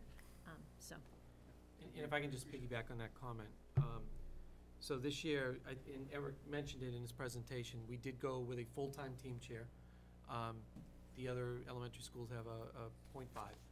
Um, We've also added recently, or in the process of hiring, a special education teacher, an additional special education teacher. Um, You heard that the majority of the literacy instructional specialist's time, um, or not the majority, but a good chunk of her time is at Joshua Eaton. And we've also been providing a lot more tutorial support for students. That's all coming out of the operating budget. yeah, I- I'm, I'm sure I'm not the only person who read about this Wednesday afternoon program and went, that would be great across the district, and it would be great across the district, so we'll, we'll add it to the wish list. It would be a phenomenal thing to offer, um, everywhere. I have a, a quick question on a comment you made. I have a question about the use of substitute teachers to accomplish professional development. So you mentioned a lot of things that take teachers out of the classroom to get this professional development, which all sounds phenomenal. But I imagine there is a balance, right? Because if you're taking a teacher out every other week to do different professional development, now, at some point you tip, and now the students are with a substitute too much, not the highly qualified teacher that we want. How do you strike that balance? Yeah, it's, um, it's knowing that if you do it too frequently, so I, I guess I would argue every other week would be too frequently, Yeah. but what are the key points in a teacher's learning? And that's sort of how we structure when those, when we're gonna get some. So we, we provide some training for teachers. Um, the, the instructional coach will go in and work with the teacher, and then we say, okay, well, that, now this group of teachers, usually by grade level, they're ready for the next phase of learning in the program, and so can we do that in, during, the- can we do that outside of the school day? Can it be part of a staff meeting? Can it be part of a Wednesday afternoon? We look at all those different options, or, or, and so that's how we kind of make that judgment, or does it need to be, we try not to do it for, for full days, we try to do half-day chunks. Um, so we can, if we get a sub, for example, um, we can have a grade level, a second grade group meet in the morning, then they can go back into the classroom, and then the third grade group, third grade teachers will come and do the afternoons. We try not to do full days, we try to do half days, which, um, will make less of a burden on the students and stuff. Yeah, sure, Dr. Knight. Back to the Lucy Calkins, so, um, I got the sense that North Reading must be using it if you're sending faculty up there.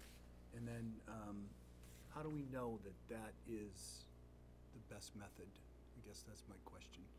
What's the research on it? Or is that too, in- Um, so I, I would have to defer to Trish on, um, she's done most of the research. Um, certainly, um, the Lucy Calkins program is a research-based program. Um, so that's how she makes decisions in terms of what kind of program and instructional practices are necessary. And what we, it, it helped us, one of the reasons I know she recommends that program is because certainly the results in North Andover that she has looked at have proven to be successful. And then we've also identified that the comprehension skills for our students um, at Joshua Eaton seemed to be one of the areas that we've struggled. And the Lucy Calkins program is very structured when it comes to how you teach those comprehension strategies. So I think that was one of the, another reason why she chose that research-based program. Uh, the reading specialists, do they play a role in the determination of, you know, are, are they involved in that? Looking at the Lucy Calkins and supporting that? I mean, that, that's the conversation that Craig has with the reading specialists and that, and certainly with Tricia about how, how it's gonna happen district-wide, which I think is. Good, thank you. Before we let you off the hot seat, was there a question? Go ahead, Ms. Downing. Quick question, Mrs. Strong, um, w- with regarding your fall benchmark versus your PARCC for the same cohort of kids, and I'm not sure if this is what Nick was getting at, he caused me to look again at this data. If I look at the third graders who took PARCC at the end of last year, so basically, a minimum of thirty-six percent, or 30 36, I'm sorry, out of eighty students were near or below subset on PARCC, right? We don't know what it is, it's like thirty-six to forty. Then you go look at that same cohort of, cohort of kids in your fall reading benchmarks, and I know it's, a- it's different, that, it's apples and oranges, comparing PARCC test to Fountas and Pinnell. But you say only fifteen out of eighty-two presented problems, so it seems like a much greater percentage of kids were identified as being below the benchmark on PARCC versus now all of a sudden the fall comes and they look a lot better. So how com, is that, how confident are you that the fall benchmark is, is identifying all the kids? Because PARCC said, no, wait, you have a much greater percentage of kids. And now you look at the same, they didn't have some magic wand waved on them over the summer, so I'm just curious. Maybe Like- it. Um, no, you, that's why you have to look at all different pieces of data, and, and this is one of the reasons that, that we talked about cal, doing some level of calibration in terms of our, how, when we do the benchmark assessment, does it, are we doing it to fidelity that's gonna give us the right information about where students are? Uh, and we do it three times a year, and that's why Trish Stodden is, a, is coaching teachers in terms of um, the benchmark assessment to make sure that these numbers are accurate as a, a true reflection of where kids are, um, to make sure that it matches. Any other questions? Thank you for your continued work. We're looking forward to the next update.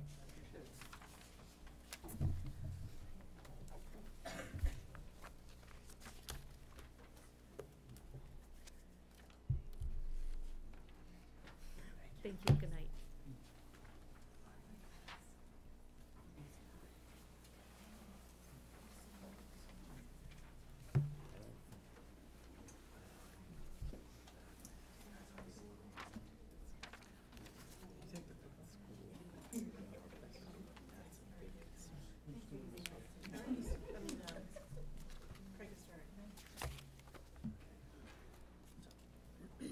All right.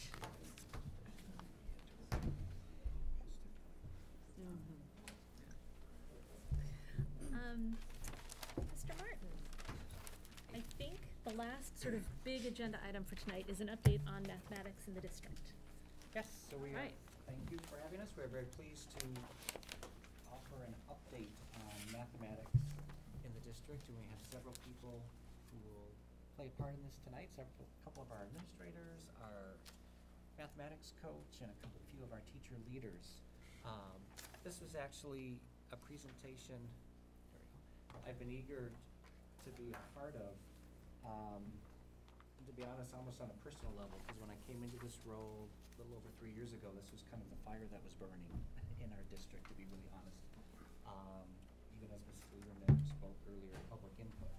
Um, if I remember correctly, we had just at that time shifted some of our courses to align with the new standards, the change in Algebra One and so forth. And it was a big focus in the public as well. I mean, and so I had, in, in being a part of putting this together, the last couple of days, decided to go back and look at some of the things a few years ago, articles in the Boston Globe, interviews that we were given. I was given a bunch of questions to submit answers to. And so, to be very honest, I went back to look to make sure that what we were saying we were about to do over the next few years that we really have done and that we are accomplishing. And I really believe that we are. And that really is a testament to the hard work of our teachers. I think all of our staff, we have an amazing staff that have been putting a lot of energy into these shifts. And I think it's paying off for our kids. So, um, I'm going to start off by talking a little bit about what has been happening over the last few years with the shift in standards and what we've been doing to navigate that successfully. Um, our mathematics coach, Karen Brown, is going to spend a little time talking about um, what we're doing to align, make sure we're aligning our instruction, especially at the elementary level, um, and especially in those foundational skills. Um, uh, Mr. Sprung talked about number sense, for instance. Um, we'll talk a little bit about that. Um, our Birch Meadow principal, uh, Julia Hendricks, and a couple of our teacher leaders, um, Danielle Tucker and Kelly Strobe, will talk a little bit about the new math assessments that we are going to be implementing or in the process of implementing this year. Um, they are our leaders of our K-1 mathematics PLCs. Um, and how these assessments specifically target those key foundational skills that we need to make sure, we need to ensure that kids have acquired that, those things before they move on. Um, and then I and Trey Skian, who is the department head for mathematics at the high school, will talk a little bit about some of those shifts and then some new math pathways or sequences that we are really pleased to be offering for kids. So the, the first few slides here, literally, I decided very purposefully to keep them. They're the same slides that I used three years ago in a presentation that talked about what was happening. Um, and so in this slide, a few years ago, we talked about, and this is all language from the state framework, um, and that the, we're emphasizing a real coherence in each grade level. Um, and, you know, I interpreted that, all of us interpreted that to mean that we had to really look at this from a vertical perspective. It wasn't just about a secondary pathway, for instance, but it really was the full vertical uh, extension.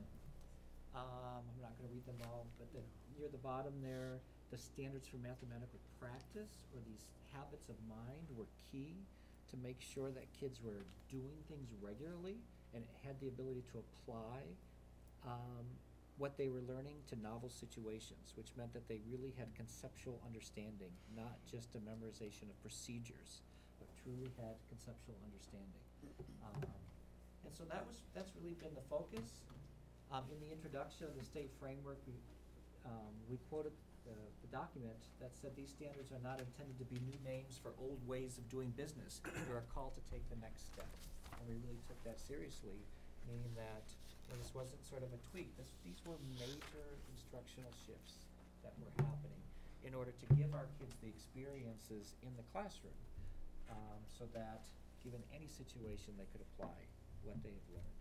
Um, again, more, more passages from the framework itself, citing that students need to be actively engaged in discussing mathematical ideas, applying your mathematics to thought-provoking situations. Um, tasks should be designed to challenge students in multiple ways and activities designed to really cause them to sort of have to explain their thinking, um, debate with each other, all of that sort of stuff to, to prompt a deeper conceptual understanding of the mathematics. And basically it's saying that we had to pursue equally with equal aspects of rigor, three areas, conceptual understanding, procedures, procedural skill and fluency, and applications. And so we've made, you know, our, what we determined was, we needed to sort of firm up the conceptual and the applications part. And that's been happening, um, very much so in the last several years. Again, this is saying that, um, those standards of mathematical practice need to absolutely be happening in the classroom. Um, Karen will talk a little bit about that more in detail. And it's saying right here that designers of curricula, assessments, professional development need to attend to that. And we sort of took that as a clue that when kids will be given new assessments from the state, um, that they would not be able to achieve on those particular assessments if they were not accustomed to doing this on a regular basis. Mr. Sprung mentioned number sense, um, and this has been a big focus of ours in the last few years. Matter of fact, it's- very consistent. We had um, Professor Mahesh Sharma, some of you might have attended some of the parent, he did a parent night last, last year. Um, and this was a big focus kids with our teachers. Um, we had many conversations with him, telephone conversations, um, dinner, all sorts of things. And he put a huge emphasis on the foundational skills that kids were getting at K one and two. Um, and I've often said to teachers when it, when it comes to, um, you know, we had a focus on, well, when are kids accessing algebra? And are they doing that successfully? And what we determined that often, um, that's going back to the foundational skills that kids are getting in K one and two. Um, that they had to make sure that they had that strong number sense, the conceptual understanding that when they started getting to more abstract math, were simply, you know, the procedures, the memorization, the counting, just those mathematical skills aren't enough. Um, that they still had those foundational skills to guide them. And so I won't read them here, but I pulled a, a couple quotes from some, uh, some recent articles by Keith Devlin, a Stanford mathematician, that talks about the importance of number sense and defines it there. A fluidity and flexibility with numbers, a sense of what numbers mean, um, the ability to use mental mathematics to negotiate the world and make comparisons. He, he points out that as far back as in nineteen eighty-nine, the US-based National Council of Teachers identified these five components. Number meaning, number relationships, number magnitude, operations involving numbers and reference for numbers and so forth. And it really is important because it encourages students to think flexibly and promotes confidence with numbers, which often, when I spent most of my career in middle school, I often said that it seemed to be a regular thing that a good third or more of students would come thinking they just lacked the math gene or something. Um, Professor Sharma would often say that that's unique to our culture in this country, in the world. Um, that it's so important that kids have this growth mindset and that we, we present mathematics in a way that anybody can do this. Um, so that was really important. Um, these two quotes really st- stuck out to me. You know, the fact is students who lack a strong number sense have trouble developing the foundation needed for even simple arithmetic, let alone more complex mathematics. In one study of 187th graders, which was conducted in 2013 at the University of Missouri, researchers found that those who lagged behind their peers in a test of core math skills needed to function as adults were the same kids who had the least number sense or fluency way back when they started first grade. You know, and I started to say, I've said to teachers, I want to make sure, we all want to make sure that the kids that we're identifying that would be able to handle an accelerated pathway um, could need to be identified right before then. That we, in other words, that we couldn't, we wouldn't give an assessment in third grade and the names would be the same. We want to make sure that kids are continually growing, that they have that foundation that they need to, to continue that pathway. And then even from a disability sort of standpoint too, it says coming from a focus of math education for children with learning disabilities, just as our understanding of phonemic awareness has revolutionized the teaching of beginning reading, the influence of number sense on early math development and more complex mathematical thinking carries implications for instruction. And certainly Professor Sharma was stressing that last year, making the comparisons to how we teach kids to read, that mathematics is a language, and we need to make sure that kids have all of those awarenesses of how mathematics works in order to successfully move on. So, I'm gonna turn it over to Karen Brown, our math coach, who's going to talk about some of the main ideas that we've been focusing on in this area, especially at the elementary level. Before we turn it over, can we ask a quick question? Sure. Uh, Question is, this document that you have a picture of in your slides, this maths curriculum framework Yes, from pre-K to 12, if someone wanted a copy of that, yeah, and that's on. where the- would they get that? That's on the DESE website, it's a PDF. Right. So And how, how big is it? Um, probably what? 500 pages, 100, Two or three 50? So I would say two or three hundred. Two or 300, right? Okay. And it's, just so I understand what it is, is it something we give to teachers, or do we give it to coaches to coach teachers? Everybody has that. So Everybody those has are it? the State, state standards. Right. And, and it's, is it a, s- is, it- is it the basis for state assessments, or is it just the basis for how you teach, or is it both? Um, both. Yeah. Okay, So and does it the account- Standards that they, that the state assessment should be aligned to. Great. And that, does it account for differences in learning styles and, and approaches, or does it have a kind of a one-size-fits-all? Um, this is Well, how you yes teach and no. I mean, the, the standards don't really go into instructional, I mean, they certainly imply instructional methods, but they don't really dictate what, what should be done for different populations. The same, here are the expectations that we would want all kids to be able to understand. Okay, and then just one last request. In the minutes, could we just put the link to where you would get that? If, if anybody wants to get them, they can go to that link and type it in their computer, iPad, whatever. Thank you. If, I don't know if this is helpful at all, but a standard might be at a certain grade level, you should be able to add two mixed fractions, right? The standard, and so you can anticipate that on that grade level exam, you're gonna be required to do that. Right. What the state curriculum frameworks won't do is, how do you teach that? That's Right. where. And that's what I'm getting at. yeah. That's exactly what I'm getting at. Thank you. Thank you.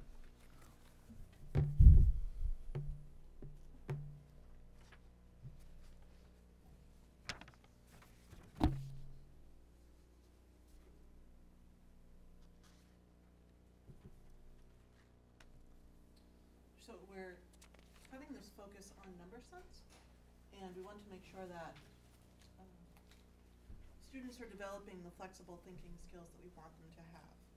For example, if you parallel into reading, you would want students to be able to take words apart and break them down into letters and then reassemble different words. So you use words that they know, like possibly the word block, um, to create words that sound similar. And you want to do that in math as well.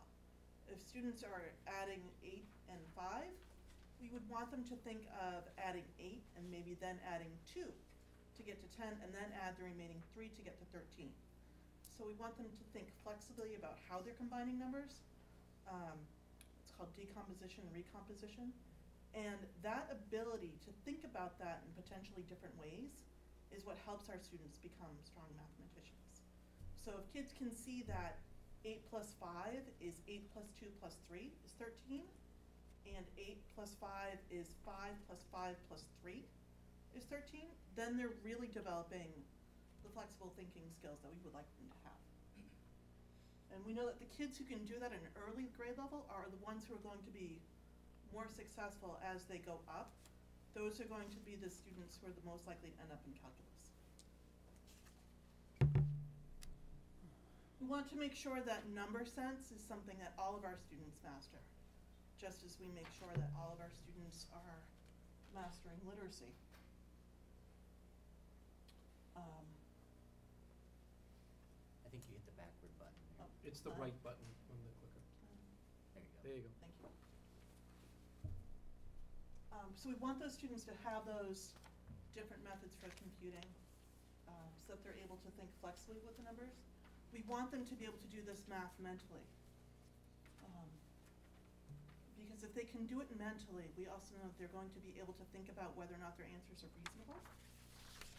And they're going to be able to reflect on the quality of their own work and critique the work of another student, which is another goal that we have in, in our education of them. Ah, now I know which one, buttons, right. So again, it's that, the idea of estimating your answers is going to be critical for students to be able to reflect on their own learning and determine whether or not their answers are reasonable. Um, and we want to also engage students in deeper levels of mathematics than possibly what students have done before. We want them to be able to think about real-world problems that don't necessarily have all the numbers available to them. Like if I'm designing a stadium, uh, how many people should it sit? How should I arrange the sections? How many sections, how many seats per section? S- Those kinds of real-world problems that are open-ended, but also force students to think about numbers.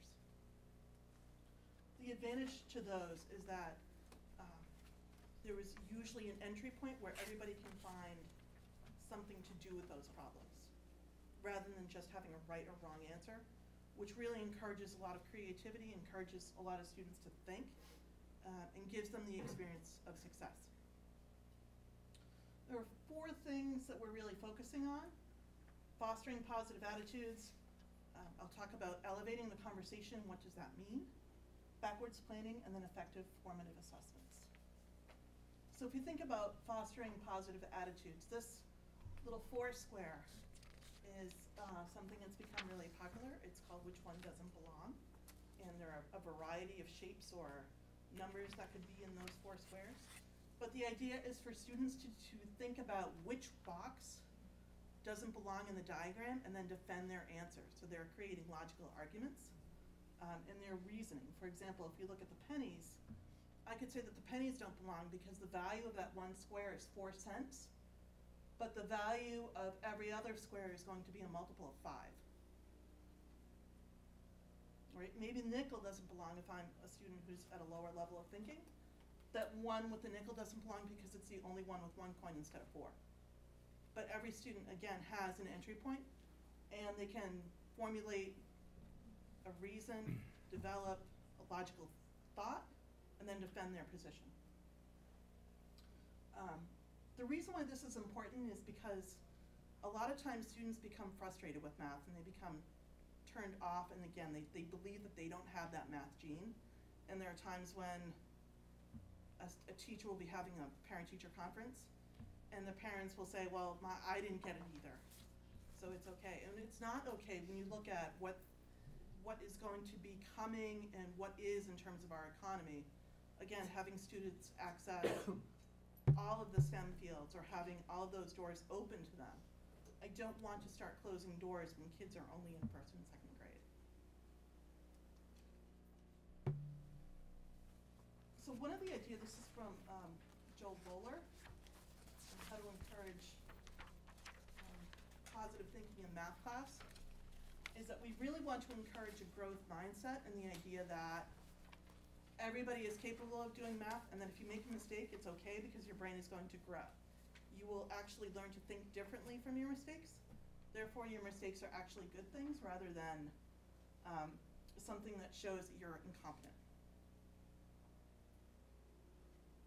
Along with this, the idea that uh, depth is much more important than speed. Again, focusing on the quality of thinking rather than how rapid students think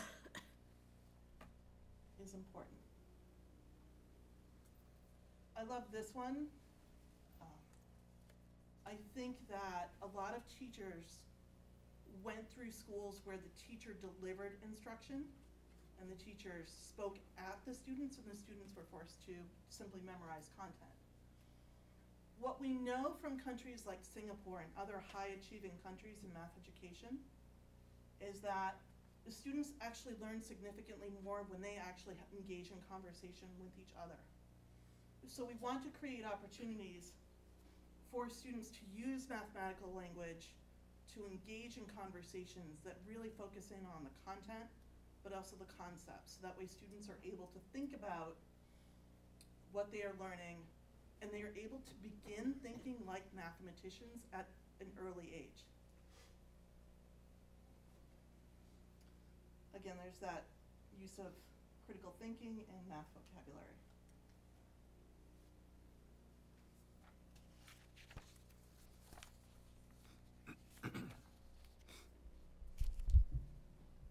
So this, I love this diagram. This is something that is happening in Reading, and it's, it's, it varies from classroom to classroom and with teacher to teacher. But we're getting away from that first model where the teacher is speaking at one student and then receiving that one answer to a classroom where the teacher might pose a question, but then students begin talking with each other about the question. This is extremely important, especially for students um, who have learning disabilities, because the opportunity to use the vocabulary is something that allows them to begin accessing the content. If they are not using that vocabulary when they are speaking, they are probably not using it when they are writing. And if you're not using that language, then you are not going to learn that language. And it's the expressive, the speaking and the writing is much more powerful for learning than just the receptive, the listening and the reading. It's the actively using it that helps students learn. So these are the standards for mathematical practice, and this is how we want students to think. They are a framework for thinking about how do we get students to think like mathematicians. The idea of making sense and solving of problems and persevering in solving them rather than just saying, I give up. Um, reason abstractly and quantitatively. The modeling with mathematics, being able to look at a situation and then write an equation based on what you see and what you understand. Um, using appropriate tools, being able to select which tools you're going to use. Attending to precision, making sure that you're being very careful about your work and that you're being very precise. We don't want sloppy mathematicians.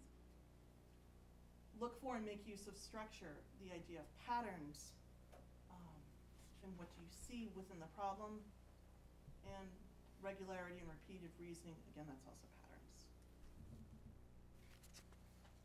So if we look at a couple of examples, sense of problems and persevere in solving them. Mathematically proficient students start by explaining to themselves the meaning of a problem and looking for entry points into its solution. Um, that means they might try something, they, they have a particular real-world problem in front of them. They might try one strategy to solve the problem. Maybe they're looking for a pattern. Maybe they're writing an equation. But they are trying different things or different strategies to solve the problem, and if they can't successfully use the pattern, they abandon it and then try something else until they get it. That's productive struggle. Instead of rescuing the students, we want the students to struggle productively where they're kind of wrestling and grappling until they actually get it. And then constructing viable arguments and critiquing the reasoning of others. Mathematically proficient students understand and use stated assumptions, definitions, and previously established results in constructing arguments. Um, they justify their conclusions, communicate them to others, and respond to the arguments of others. It's really interesting to see when this is done successfully, even at a third grade level. When students are having a conversation and students are saying, I agree with what you just said, let me add on, or I disagree because, I think that practice of engaging students in the work of other students allows them to see how other students are thinking. It allows students to see whether or not their work is correct. Um, it allows them to get peer feedback into their own learning. So it's the idea of creating a classroom environment where all the students are engaged in learning and they're all providing feedback to each other just as the teacher is providing feedback to them.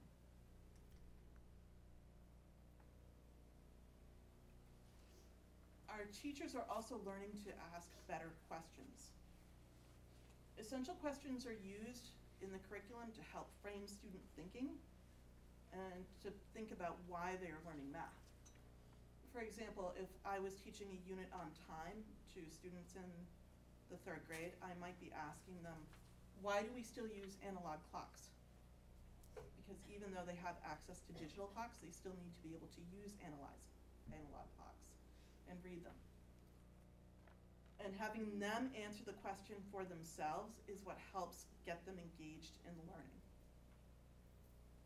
The right questions allow students to learn with less direct instruction. If I have a student who's struggling and I ask them what they're thinking, maybe there's a misconception that I can challenge. um, And then have the student rethink their reasoning, his or her reasoning, until the correct thought is arrived at, or the correct reasoning comes forth. The most important question is why.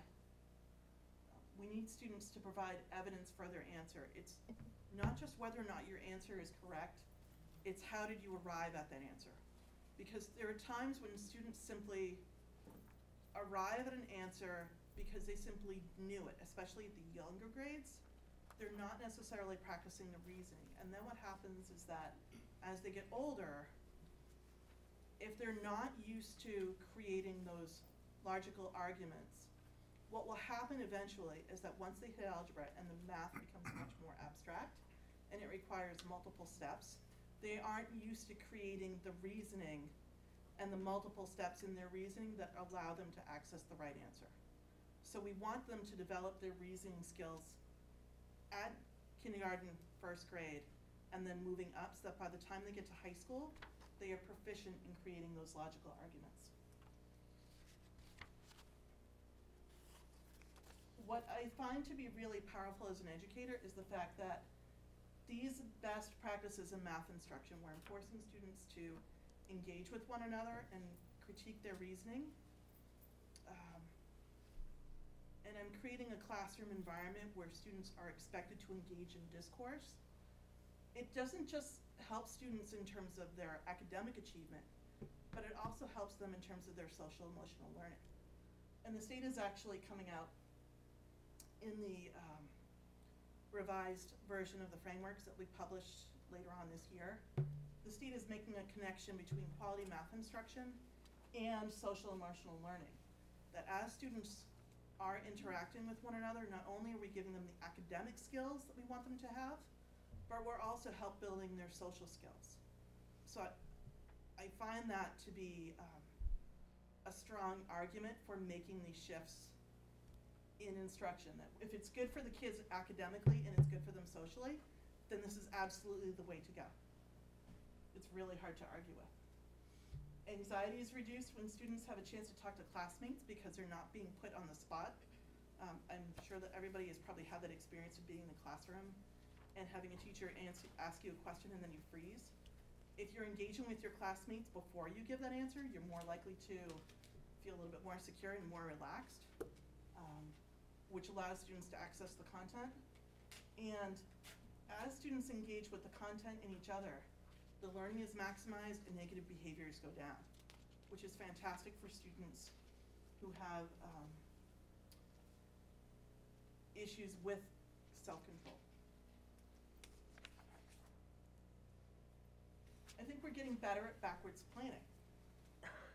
Um, teachers are getting better at identifying the learning outcomes and thinking about what students should know and be able to do, rather than simply follow the chapters in um, the textbook. So they're starting to think about using some of the best practices to plan. How do I look at the targets that I want to achieve? How do I plan backwards from that? And then using assessments that are tied to the learning outcomes and not the math program. That's some, that's another direction that we're heading in, and that's something that we're getting better at as well.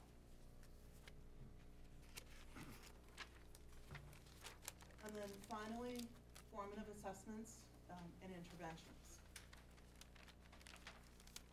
Especially for students who um, come from disadvantaged backgrounds or might have a learning disability, we want to make sure that we're targeting our, targeting our students as soon as possible and providing them with supports in regular classroom instruction so that way they don't fall behind.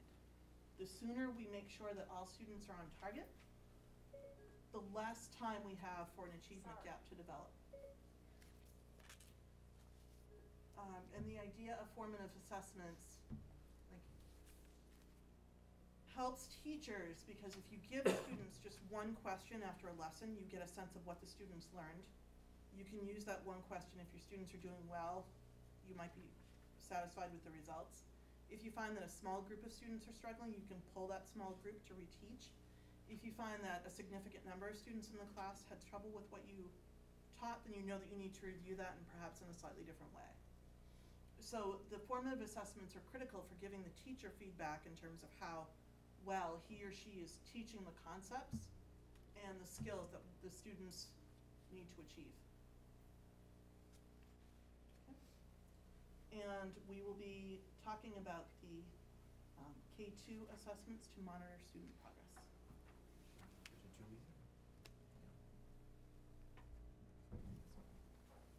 Yes, yes. Hi, so I'm Julia Hendricks. I um, am the principal at Birch, and prior to being the principal here in Reading, I was a math coach and a math specialist. And one of the things that kept coming up for us in our work where I used to be was that we would look at these fifth graders who were counting on their fingers to solve math facts under 10, or who were getting a problem like 101 minus 98 and writing it down and doing an al- long uh, subtraction algorithm to solve it. And this was an endless source of fascination to my colleagues and I, so we started doing some research, and it led us to the work of a math educator named Kathy Richardson and her organization, Math Perspectives, and her work around what's called the critical learning phases of number, which are understandings about whole numbers that children have to go through and they are all about understanding how numbers relate to each other and how we organize quantities.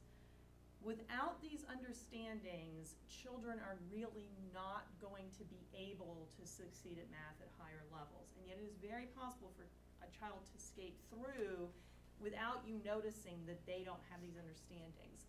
So what she has developed and what her organization developed is a series of assessments that we are implementing here in kindergarten, first and second grade, and in third grade at Eaton. Um, we're going to talk to you about this in a minute, but really what they are about is not just understanding that a child can solve a task, but what they understand that enables them to solve the task and how they use that understanding to approach a task. They're an interview kind of assessment. They're one-on-one with a teacher. And it's really about knowing what a child understands about numbers when they are solving a problem. And understanding exactly where they are and what these critical learning phases are, where they are, so you can target instruction at them at their place. So I, that's a little bit how we got into this work. I'm going to pass it on now to our two kindergarten um, teachers and PLC leaders. So I'm Danielle Tucker. I'm a kindergarten teacher at Meadow. I so facilitate, facilitate um, the K, well, the pre-K to one PLC for math. Um, so I'm going to talk a little bit about. First, I'll tell you um, one of the things that we've been doing as a district, as you know, is um, beginning to implement and moving towards our multi-tiered support. And as we were having these conversations, through our conversations in, within our MTSS teams, we realized that we were we were lacking a data point in math. Um, so some of those conversations started, and when we started having conversations with Julia, we, we had noted that this was something that we know as a district we need to find. Um, and now we have this assessing math concepts, and we've just begun it. So just a little background as to how we got here. Um, so the assessing math concepts assessment is going to do a couple of things within the students that are administered it. Um, so it's going to uncover the students' understandings and misconceptions. So you're going to be um, really finding out where in the critical learning phases these child these these children fall. Okay, and then what it's going to do is, is that it's actually going to identify where they are and provide you with some supplemental activities or intervention activities that will support these learners exactly where they are. Um, another thing that this is going to do is it's going to track the students. So in other words, we're going to see the assess what the assessments for a student looked like in kindergarten, and in two years we're going to be able to see what those what that child looks like in second grade. We're going to see the progress. We're going to be able to see where the growth was and where they're still needing to be met, um, and maybe what supports are next.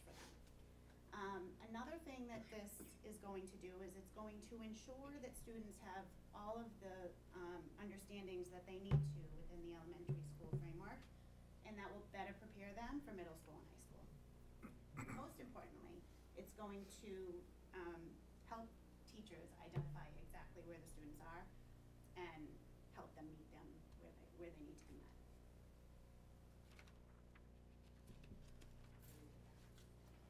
All right, so I'm going to talk a little bit about how the um, assessment works.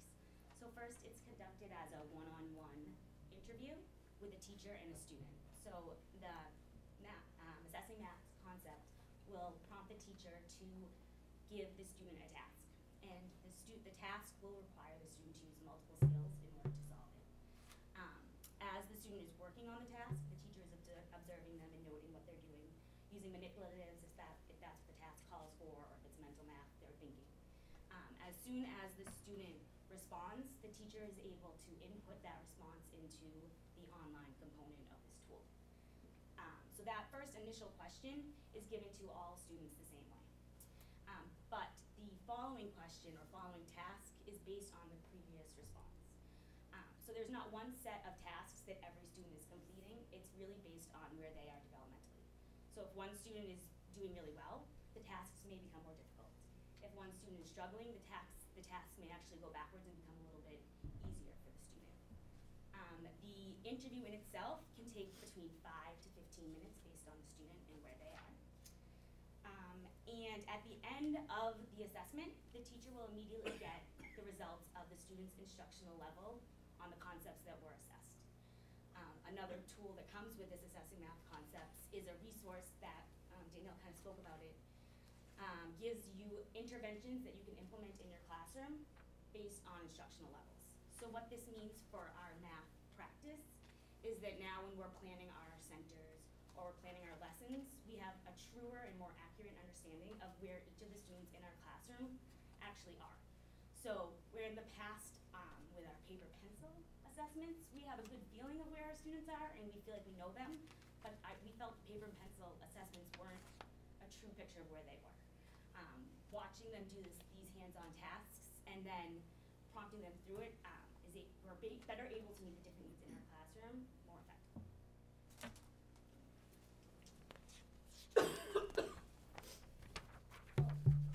So really, this is just a quote, sorry, God bless, what we're really going for is understanding.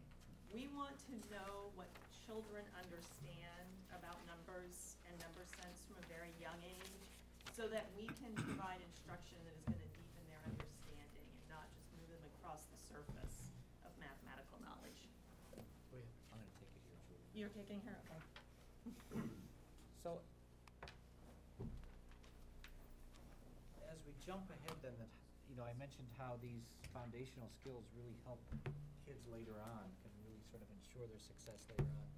One of the slides, again, that we used a few years ago, um, was, because there was a lot of question nationally about algebra, and when is the right time for a student to take algebra. And I think at that time I showed this, the entire piece.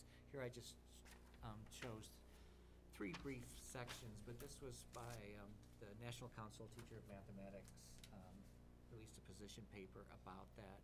Um, and she talks about the fact that, you know, it really is about when, when is it right for this, for the, that particular student in his or her own development.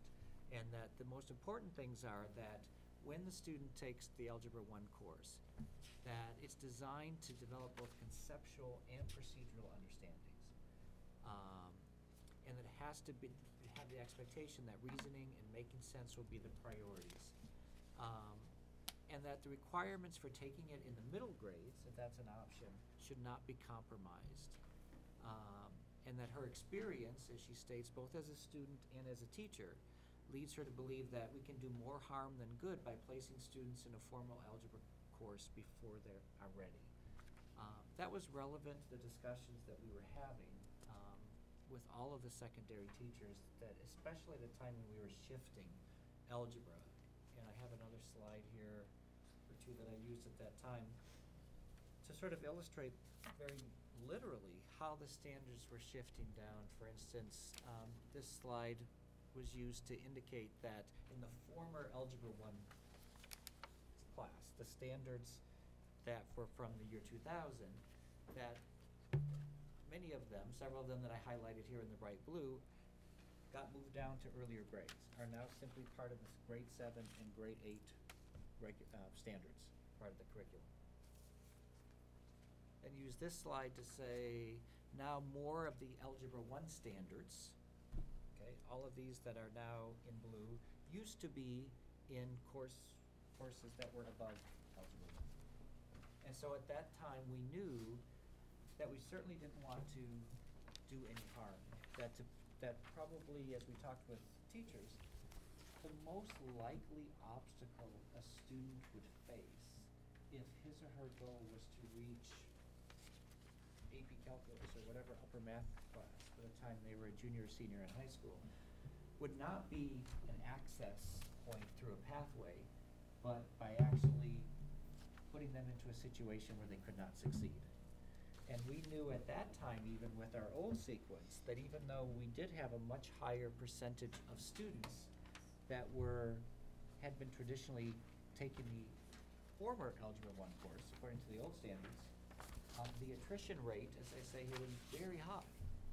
Um, matter of fact, I mean, I said there, now that we've aligned new standards, both at the elementary and middle level, students are actually getting a stronger foundation.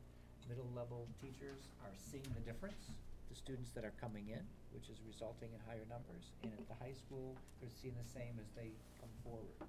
Um, we said a few years ago, our goal has been to prepare not less. I mean, the concern was that we would have fewer students able to access those higher level courses like AP Calculus.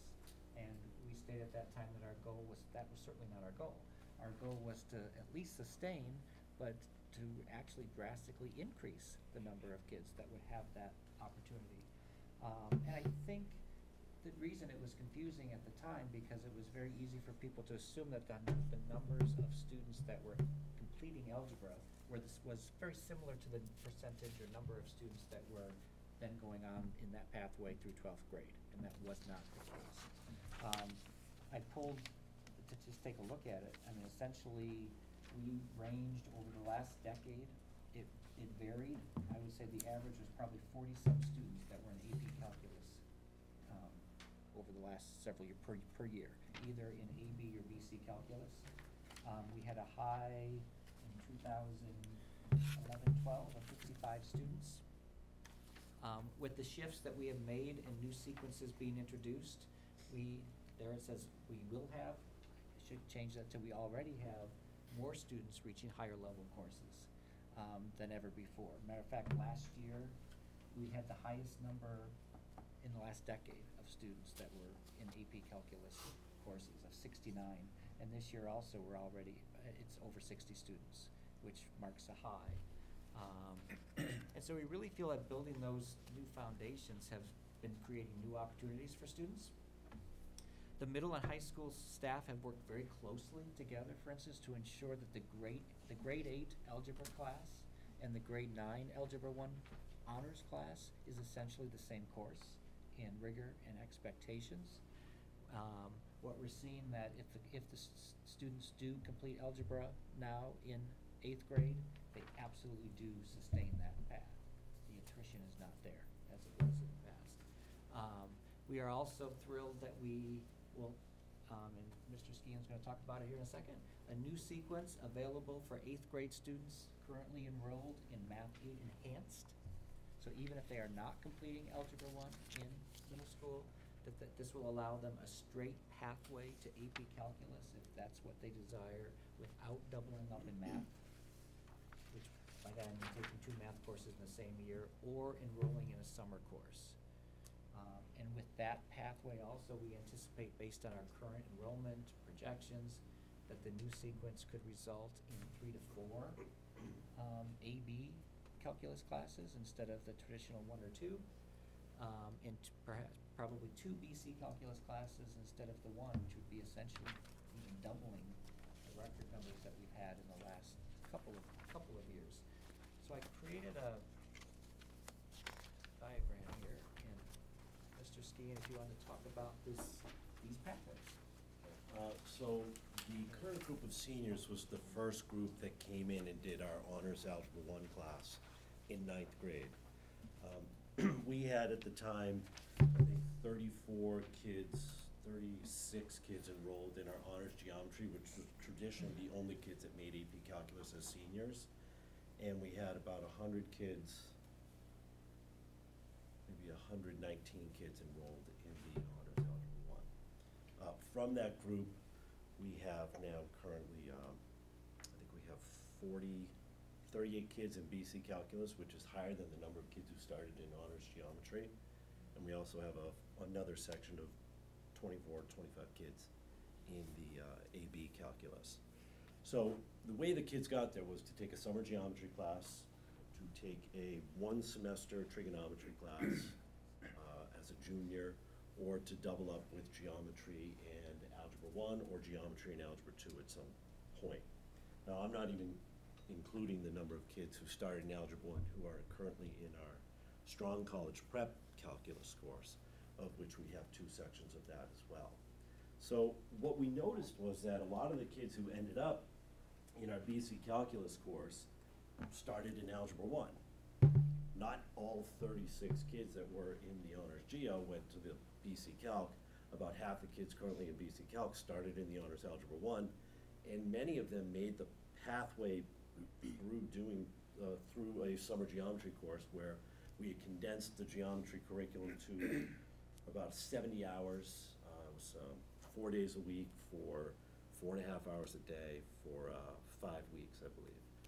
And they were no worse for the wear with that. So when we really looked at it, there were two things that were sticking out to us. One was, how redundant is our geometry curriculum at the high school to the geometry curriculum that the kids are now receiving in the earlier grades, which my son was in fourth grade last year, and he brought home a, uh, homework assignment, and I looked at it, I was like, symmetry, lines of, lines of reflection, angles of rotation.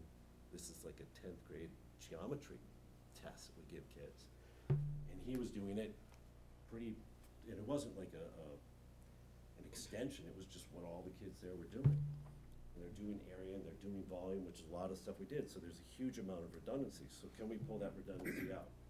Can we incorporate more algebra into a geometry course and really split up the pre-calculus course so that we're doing that in geometry, we're doing that in algebra two, and then we can streamline the whole process. The other thing that was kind of bothersome to us is that we take these kids who are all great math students, and we're basically giving half of them a consolation prize out of honors pre-calculus, which is, you did okay, you go to AB. You were really good, you go to BC. Like, why are we splitting those kids up? Why aren't they staying together?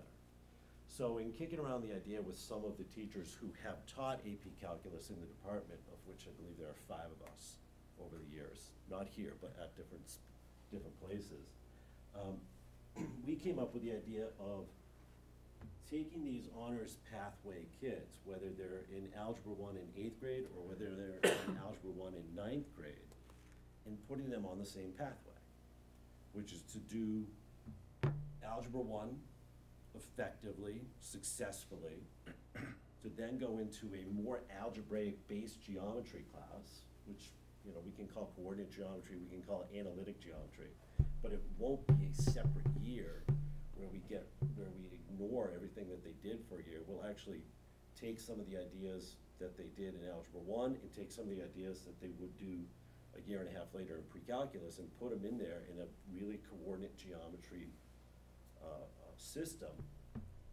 And then have them go from there into Algebra Two with trigonometry, which many schools have done for decades. You know, I took Algebra Two with trigonometry back in the eighties when I was in high school.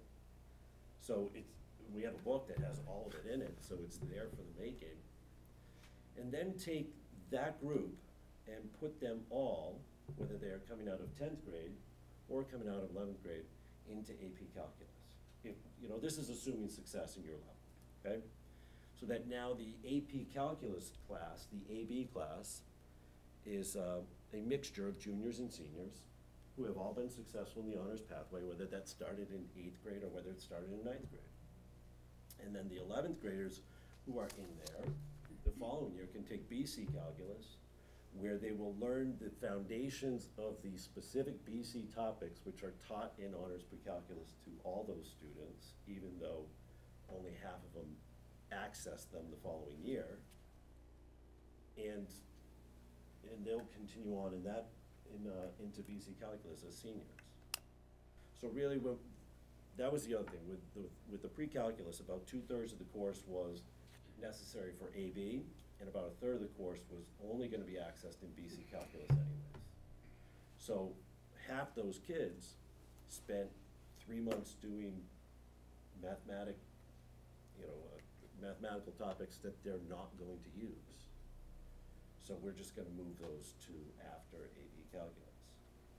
The other thing that this helps us with is that currently the BC calculus gets the exact same amount of time as the AB, but it is twelve chapters of a calculus book, where the AB is eight and a half or nine.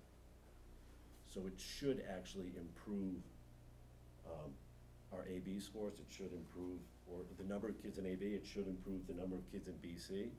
And it should give those BC kids a better foundation for when they're going into college, because we will be able to put in some extra topics with the time that they'll have allotted.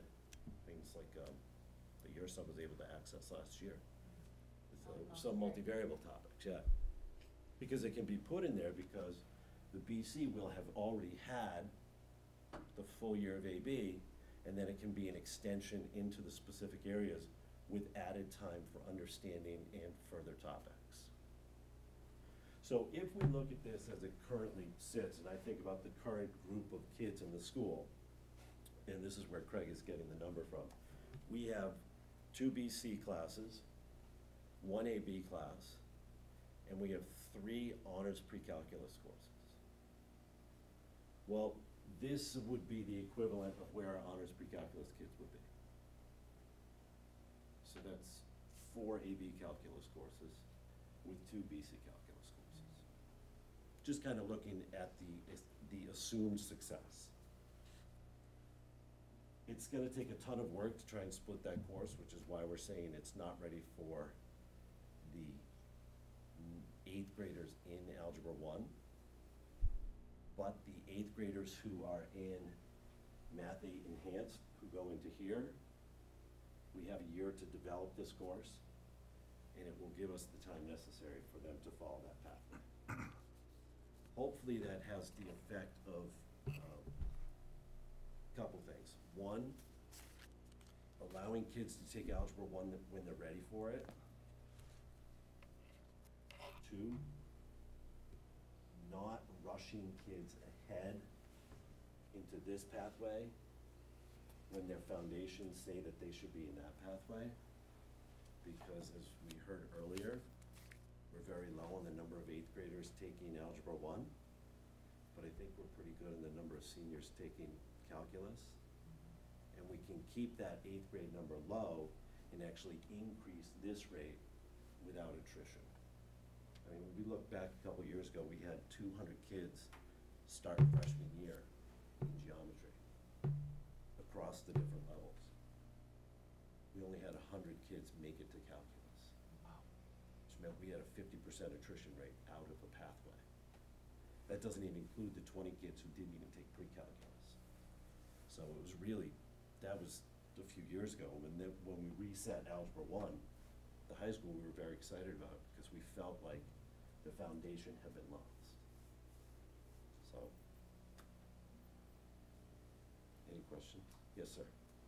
Yes, go. Going back to that slide, previous one, thank you. So this is the current, this is the four-year-old pathways? This is not the current This is the pathway, senior. this is the pros- the proposed pathway starting, um, next year for this group Okay, to come here, and then the following year, this group would follow this. okay, so you So said, the- The current Algebra One eighth grade students would go into our traditional, what we currently have, the honors geometry, honors algebra two, pre-calculus, and then AB or BC as seniors. It would be good to have that track. Yeah, just see the difference. You had said- Only high school, people who have high school students know what is currently, so I think you should explain that again for people You, you had said at the beginning that s- this year's seniors were the first ones to go through, maybe it was the This- framework, but help, help me, help me understand. So this year's senior class was the first group of kids where we had reset the out, the eighth grade curriculum to the two thousand one frameworks. Okay. That's why we had only thirty-six. 2011 frameworks. Did I say two thousand one, two thousand eleven? Sorry, two thousand eleven frameworks. Right. Uh, which is why we only had so, less than forty kids in honors geometry as ninth graders. And is- The year prior to that, we had over hundred kids in that geometry.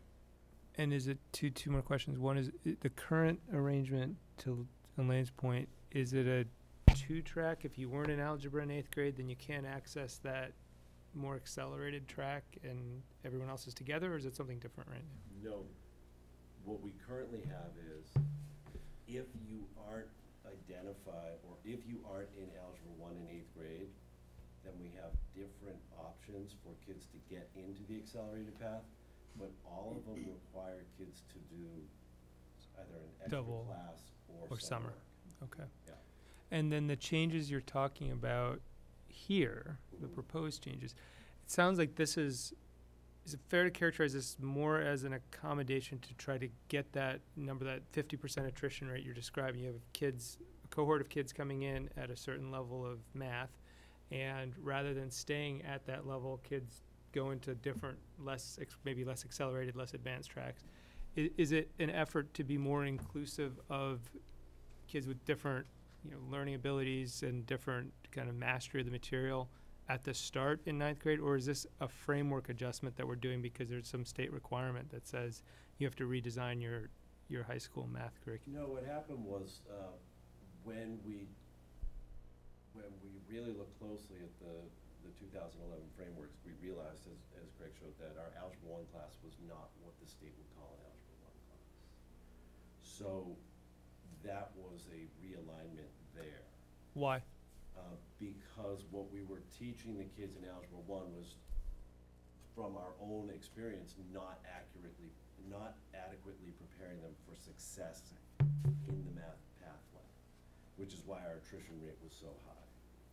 So, this current group of seniors, we've seen very little, if any, attrition. We actually have more kids in the accelerated pathway than started in the accelerated pathway because they've had opportunities to jump into it, and we've lost, I don't think any kid who started in geometry didn't end up in calculus for the current senior class. Pardon? Which is amazing. It, it, it is amazing, and, and that is, um, but that's a foundational issue. I think just, um, one thing, if, um, just to say like what, let's say last year, so for Mhm. kids who graduated last year, if they Yes. took algebra one in eighth grade, they would have taken, uh, geometry, honors geometry in ninth grade. Yes. Uh, pre-calculus in, uh, Eleventh. no, in uh, Your son algebra did two this- and. Your, your y- son did the summer thing, so. All right, sorry, right, okay, Right. so algebra two Algebra in two. tenth grade. Yes. Pre-calculus in eleventh, so just if you look at the bottom line, So this right? is pre-calculus. That would've This been- is just algebra two. right, This is pre-calculus, and then they have the A, B, or BC option as seniors. So the, this is so, I think this is so powerful because, um, you know, you, again, you're getting true, uh, that, that full focus and full year on BC Calc and you can put some multivariable in there. Yep. But you, you are giving students that, um, opportunity to build such a strong algebraic foundation. And I know two of the universities that my kids went to, they had really challenging um, algebra pretests. And it, so it didn't matter um, that you had taken the AP Calc, BC Calc test or AB Calc test and got a four. If your algebra foundation really wasn't strong enough, they weren't gonna let you take the college level calculus, which turns out to be, it- which is a, a really good decision. So I think this is, um, I, and we've looked at this just for Nick's benefit, we've looked at the different pathways over the last couple of years where you've had sort of the summer, you know, you can do this over the summer or you can double up here. And it's really challenging, uh, for students to do that. So I think this is really, I, obviously we got to look at this a little bit earlier today. Um, and I think it's great because it gives kids the opportunity to still do like the AP stats, um, but really have that, um, that, such a strong algebraic and trig foundation. Yeah, and, and that's, um, when we were discussing it as, um, Bob, Julie, Chuck, Kelly, and myself, we've all taught AP Calculus at some point in our career. We all said, you know, what is the most important class for success in AP Calculus? We all said Algebra two.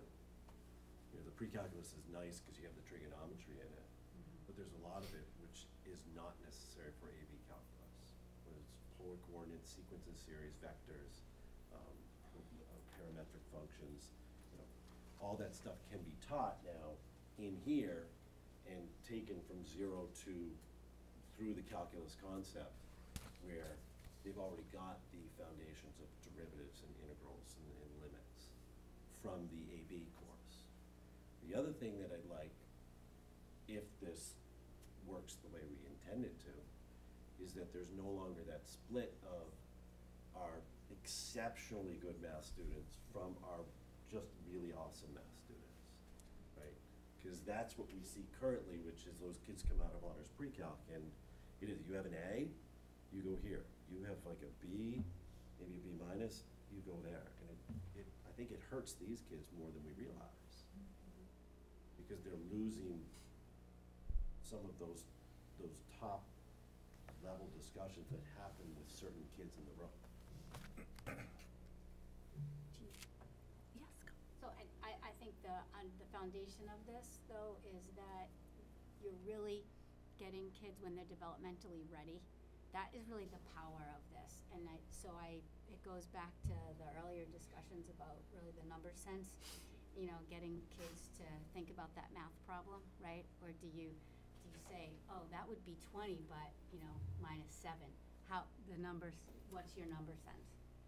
So the fact that kids develop that at different rates, but you're, you're working it at every grade level, and then at middle school, you know, some kids are, are gonna be ready for that algebra one, some are gonna be enhanced, but, you know, then you're giving them, again, they, in ninth grade, they're gonna, some kids are gonna develop, really click into this and be able to rock and roll a little harder with it.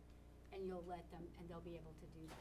Yeah, one of the key, one of the key points of this is to not panic if your child is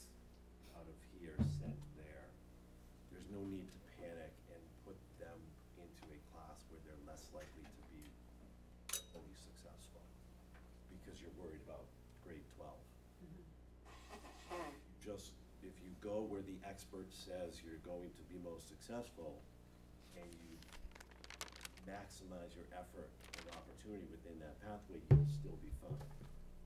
Not having to do summer, five weeks over the summer, two math classes as a tenth grader, or two math classes on, or going to St. John's Prep for the summer or something like that. Is that where we're going? He did. And he did the virtual without having to do virtual, so. Yeah. Well, thank you so much. I'm very, I just, for one, I'm very excited about this possibility. Yep, Dr. I Dawson. actually have a question. So Yes. I'm sort of pulling together in my mind with Ms. Brown, right? Did I hear that right?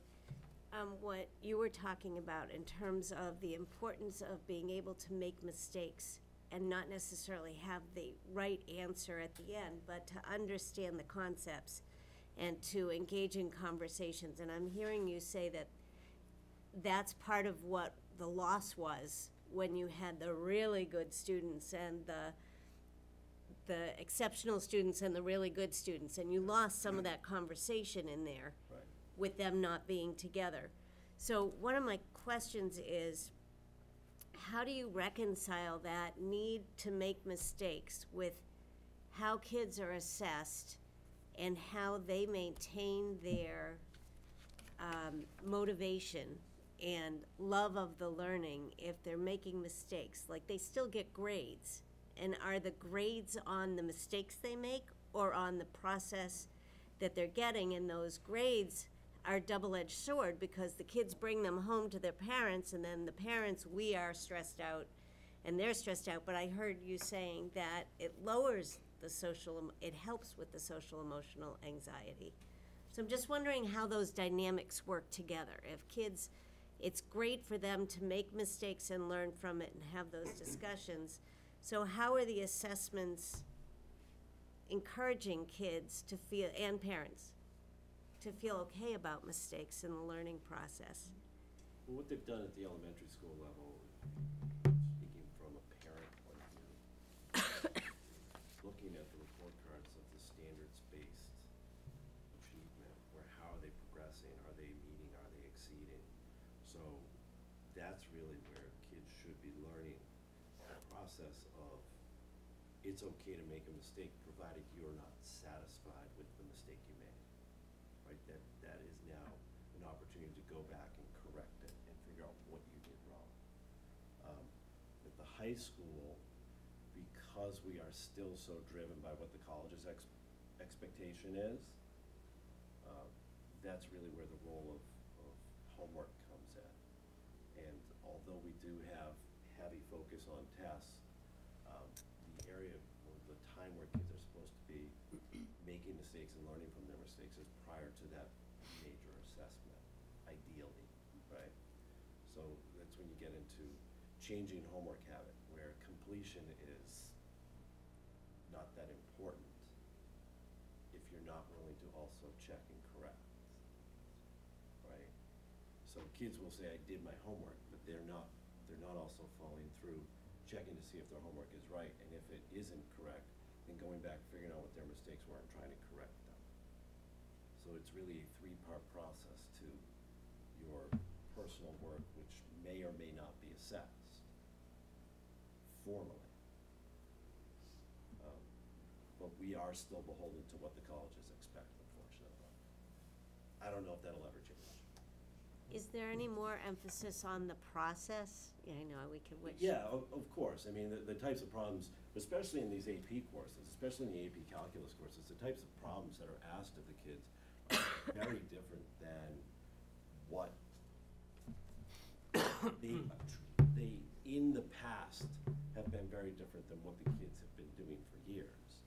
And hopefully, with a new focus on these math standards, which are exactly what you try and do in AP calculus course, hopefully the kids will be more prepared for a question which doesn't ask them to perform a mathematical process. It just asks them to answer the question, and they're, they're supposed to know which process will help them get to that result. And they can use creative ways to get there, and the teacher looks at those creative ways. Yeah. But I'm, because I'm, I'm Yes. hearing that No, the no, I- process I is know- I- important. Right, it's, yes, there are times where specifically in the directions you would say, solve this problem by using this method. But if you just say, solve this problem, and it's up to the student to solve the problem, maybe through seven or eight different methods that they have. You know, this kid may have that method, they may have that method, and one kid may have a method that you as an educator didn't even think of before. And you should be willing to accept it for, you know, check it for its validity and accept it if it's correct. Thank Yep. I I have a, I have a question actually about, um, so the instructional coach, in terms of how, you know, you work with, um, the team that ta- the PLC and talked about the new, I can't think of the name of the tool, but that asse- assessment tool that you're trying to implement. So, like previously, we heard a lot about, um, how the, um, lit- language coach and the uh, ELA coach works with, within Joshua Eaton primarily, we were talking about. And so I just sort of wanted to understand a little bit more about how you work with teachers or students and maybe like with the PLC. I haven't done as much with the PLCs. What I've done so far is I've done two six-week cycles at two different elementary schools at a time. Um, so I was at Joshua Eaton and Barrows for six weeks. And then I was at, um, Killam and Birch Meadow for six weeks. December break came, and now my focus is primarily on getting all the teachers, um, up and running with the assessing math concepts assessments. So that's going to occupy a period of time, and then hopefully I'll get back into, um, the different elementary schools again. But at least the, the great thing about coaching is that coaching is most effective when there's data to work with. Um, instead of my going off of my relationship with teachers who are simply willing to have me in their classroom and who are open to being coached, it's much more effective when there's data and I'm talking about students and how students are doing. So by implementing these new assessment tools, um, it's going to make me more effective as a coach as well. There's research to say that the most effective coaching is the coaching that takes place based off of objective data rather than that relational coaching model. I have sort of a follow-up.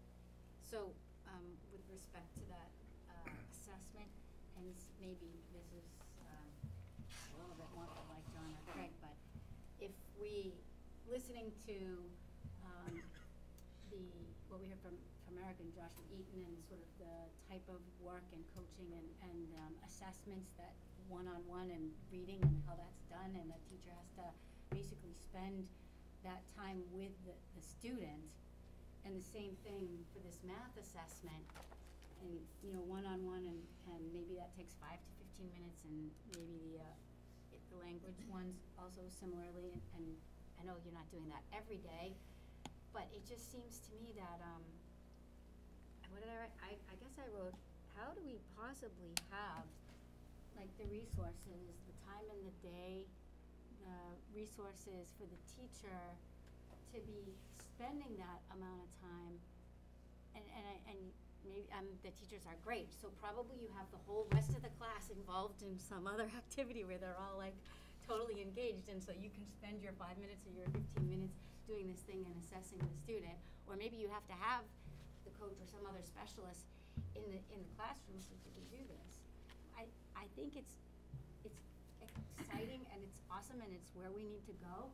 I just am not sure that we have the resource to support the teachers doing it, um, to support the, you know, whatever administrative resources we need. So, I don't know, maybe this question isn't answerable right now for us.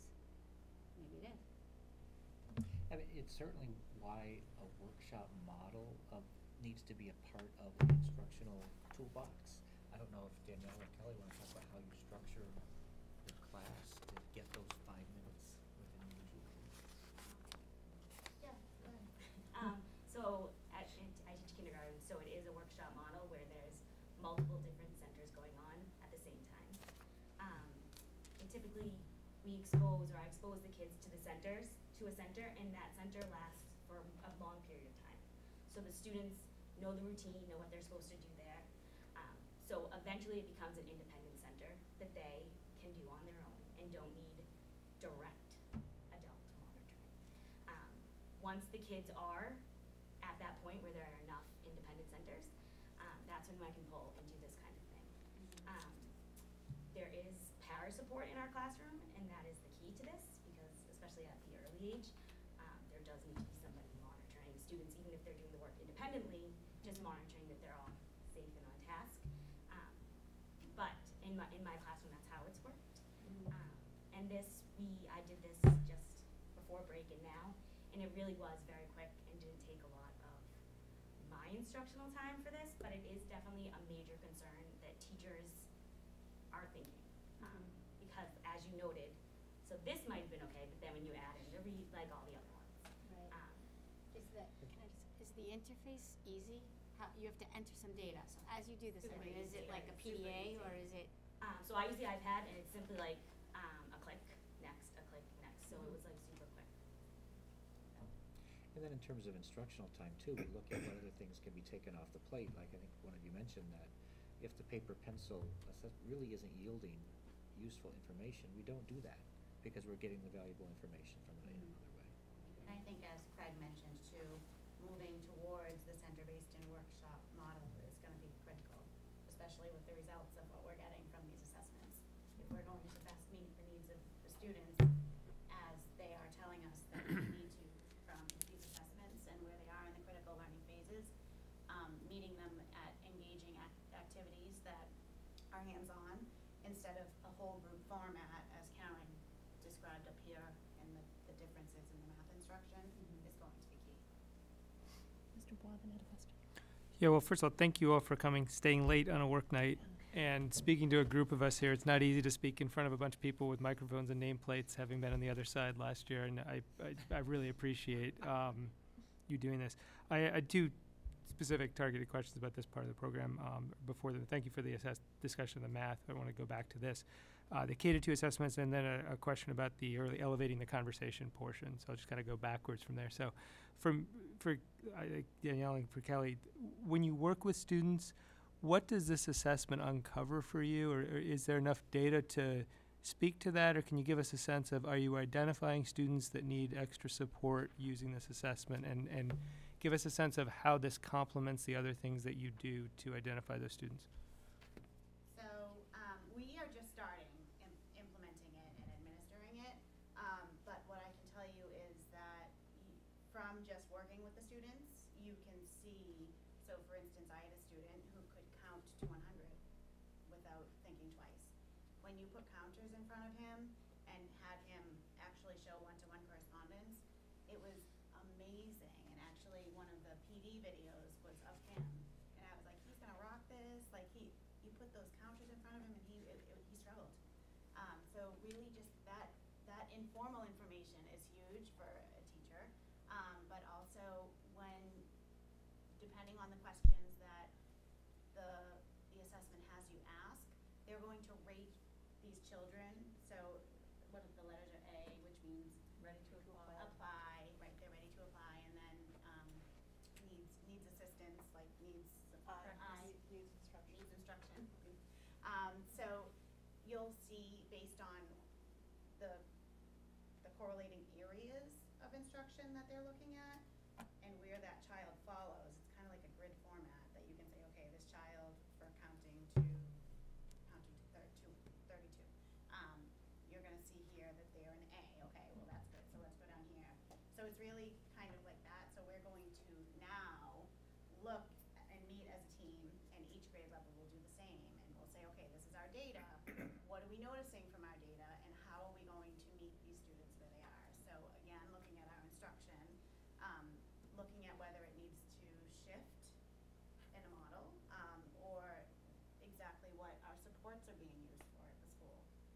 So I, So it's been helpful. yeah, well, I think it will be helpful. I think it, it, for me, it's been helpful to just sit with the students one-on-one, which I know it's time out of our day, but often that time, you, you know, you don't necessarily have that time typically unless you make it, and this has made us do that. Um, we do, we do also do the reading and so on and so forth, but, um, really just taking that time and getting to know those students as best as you can is really valuable.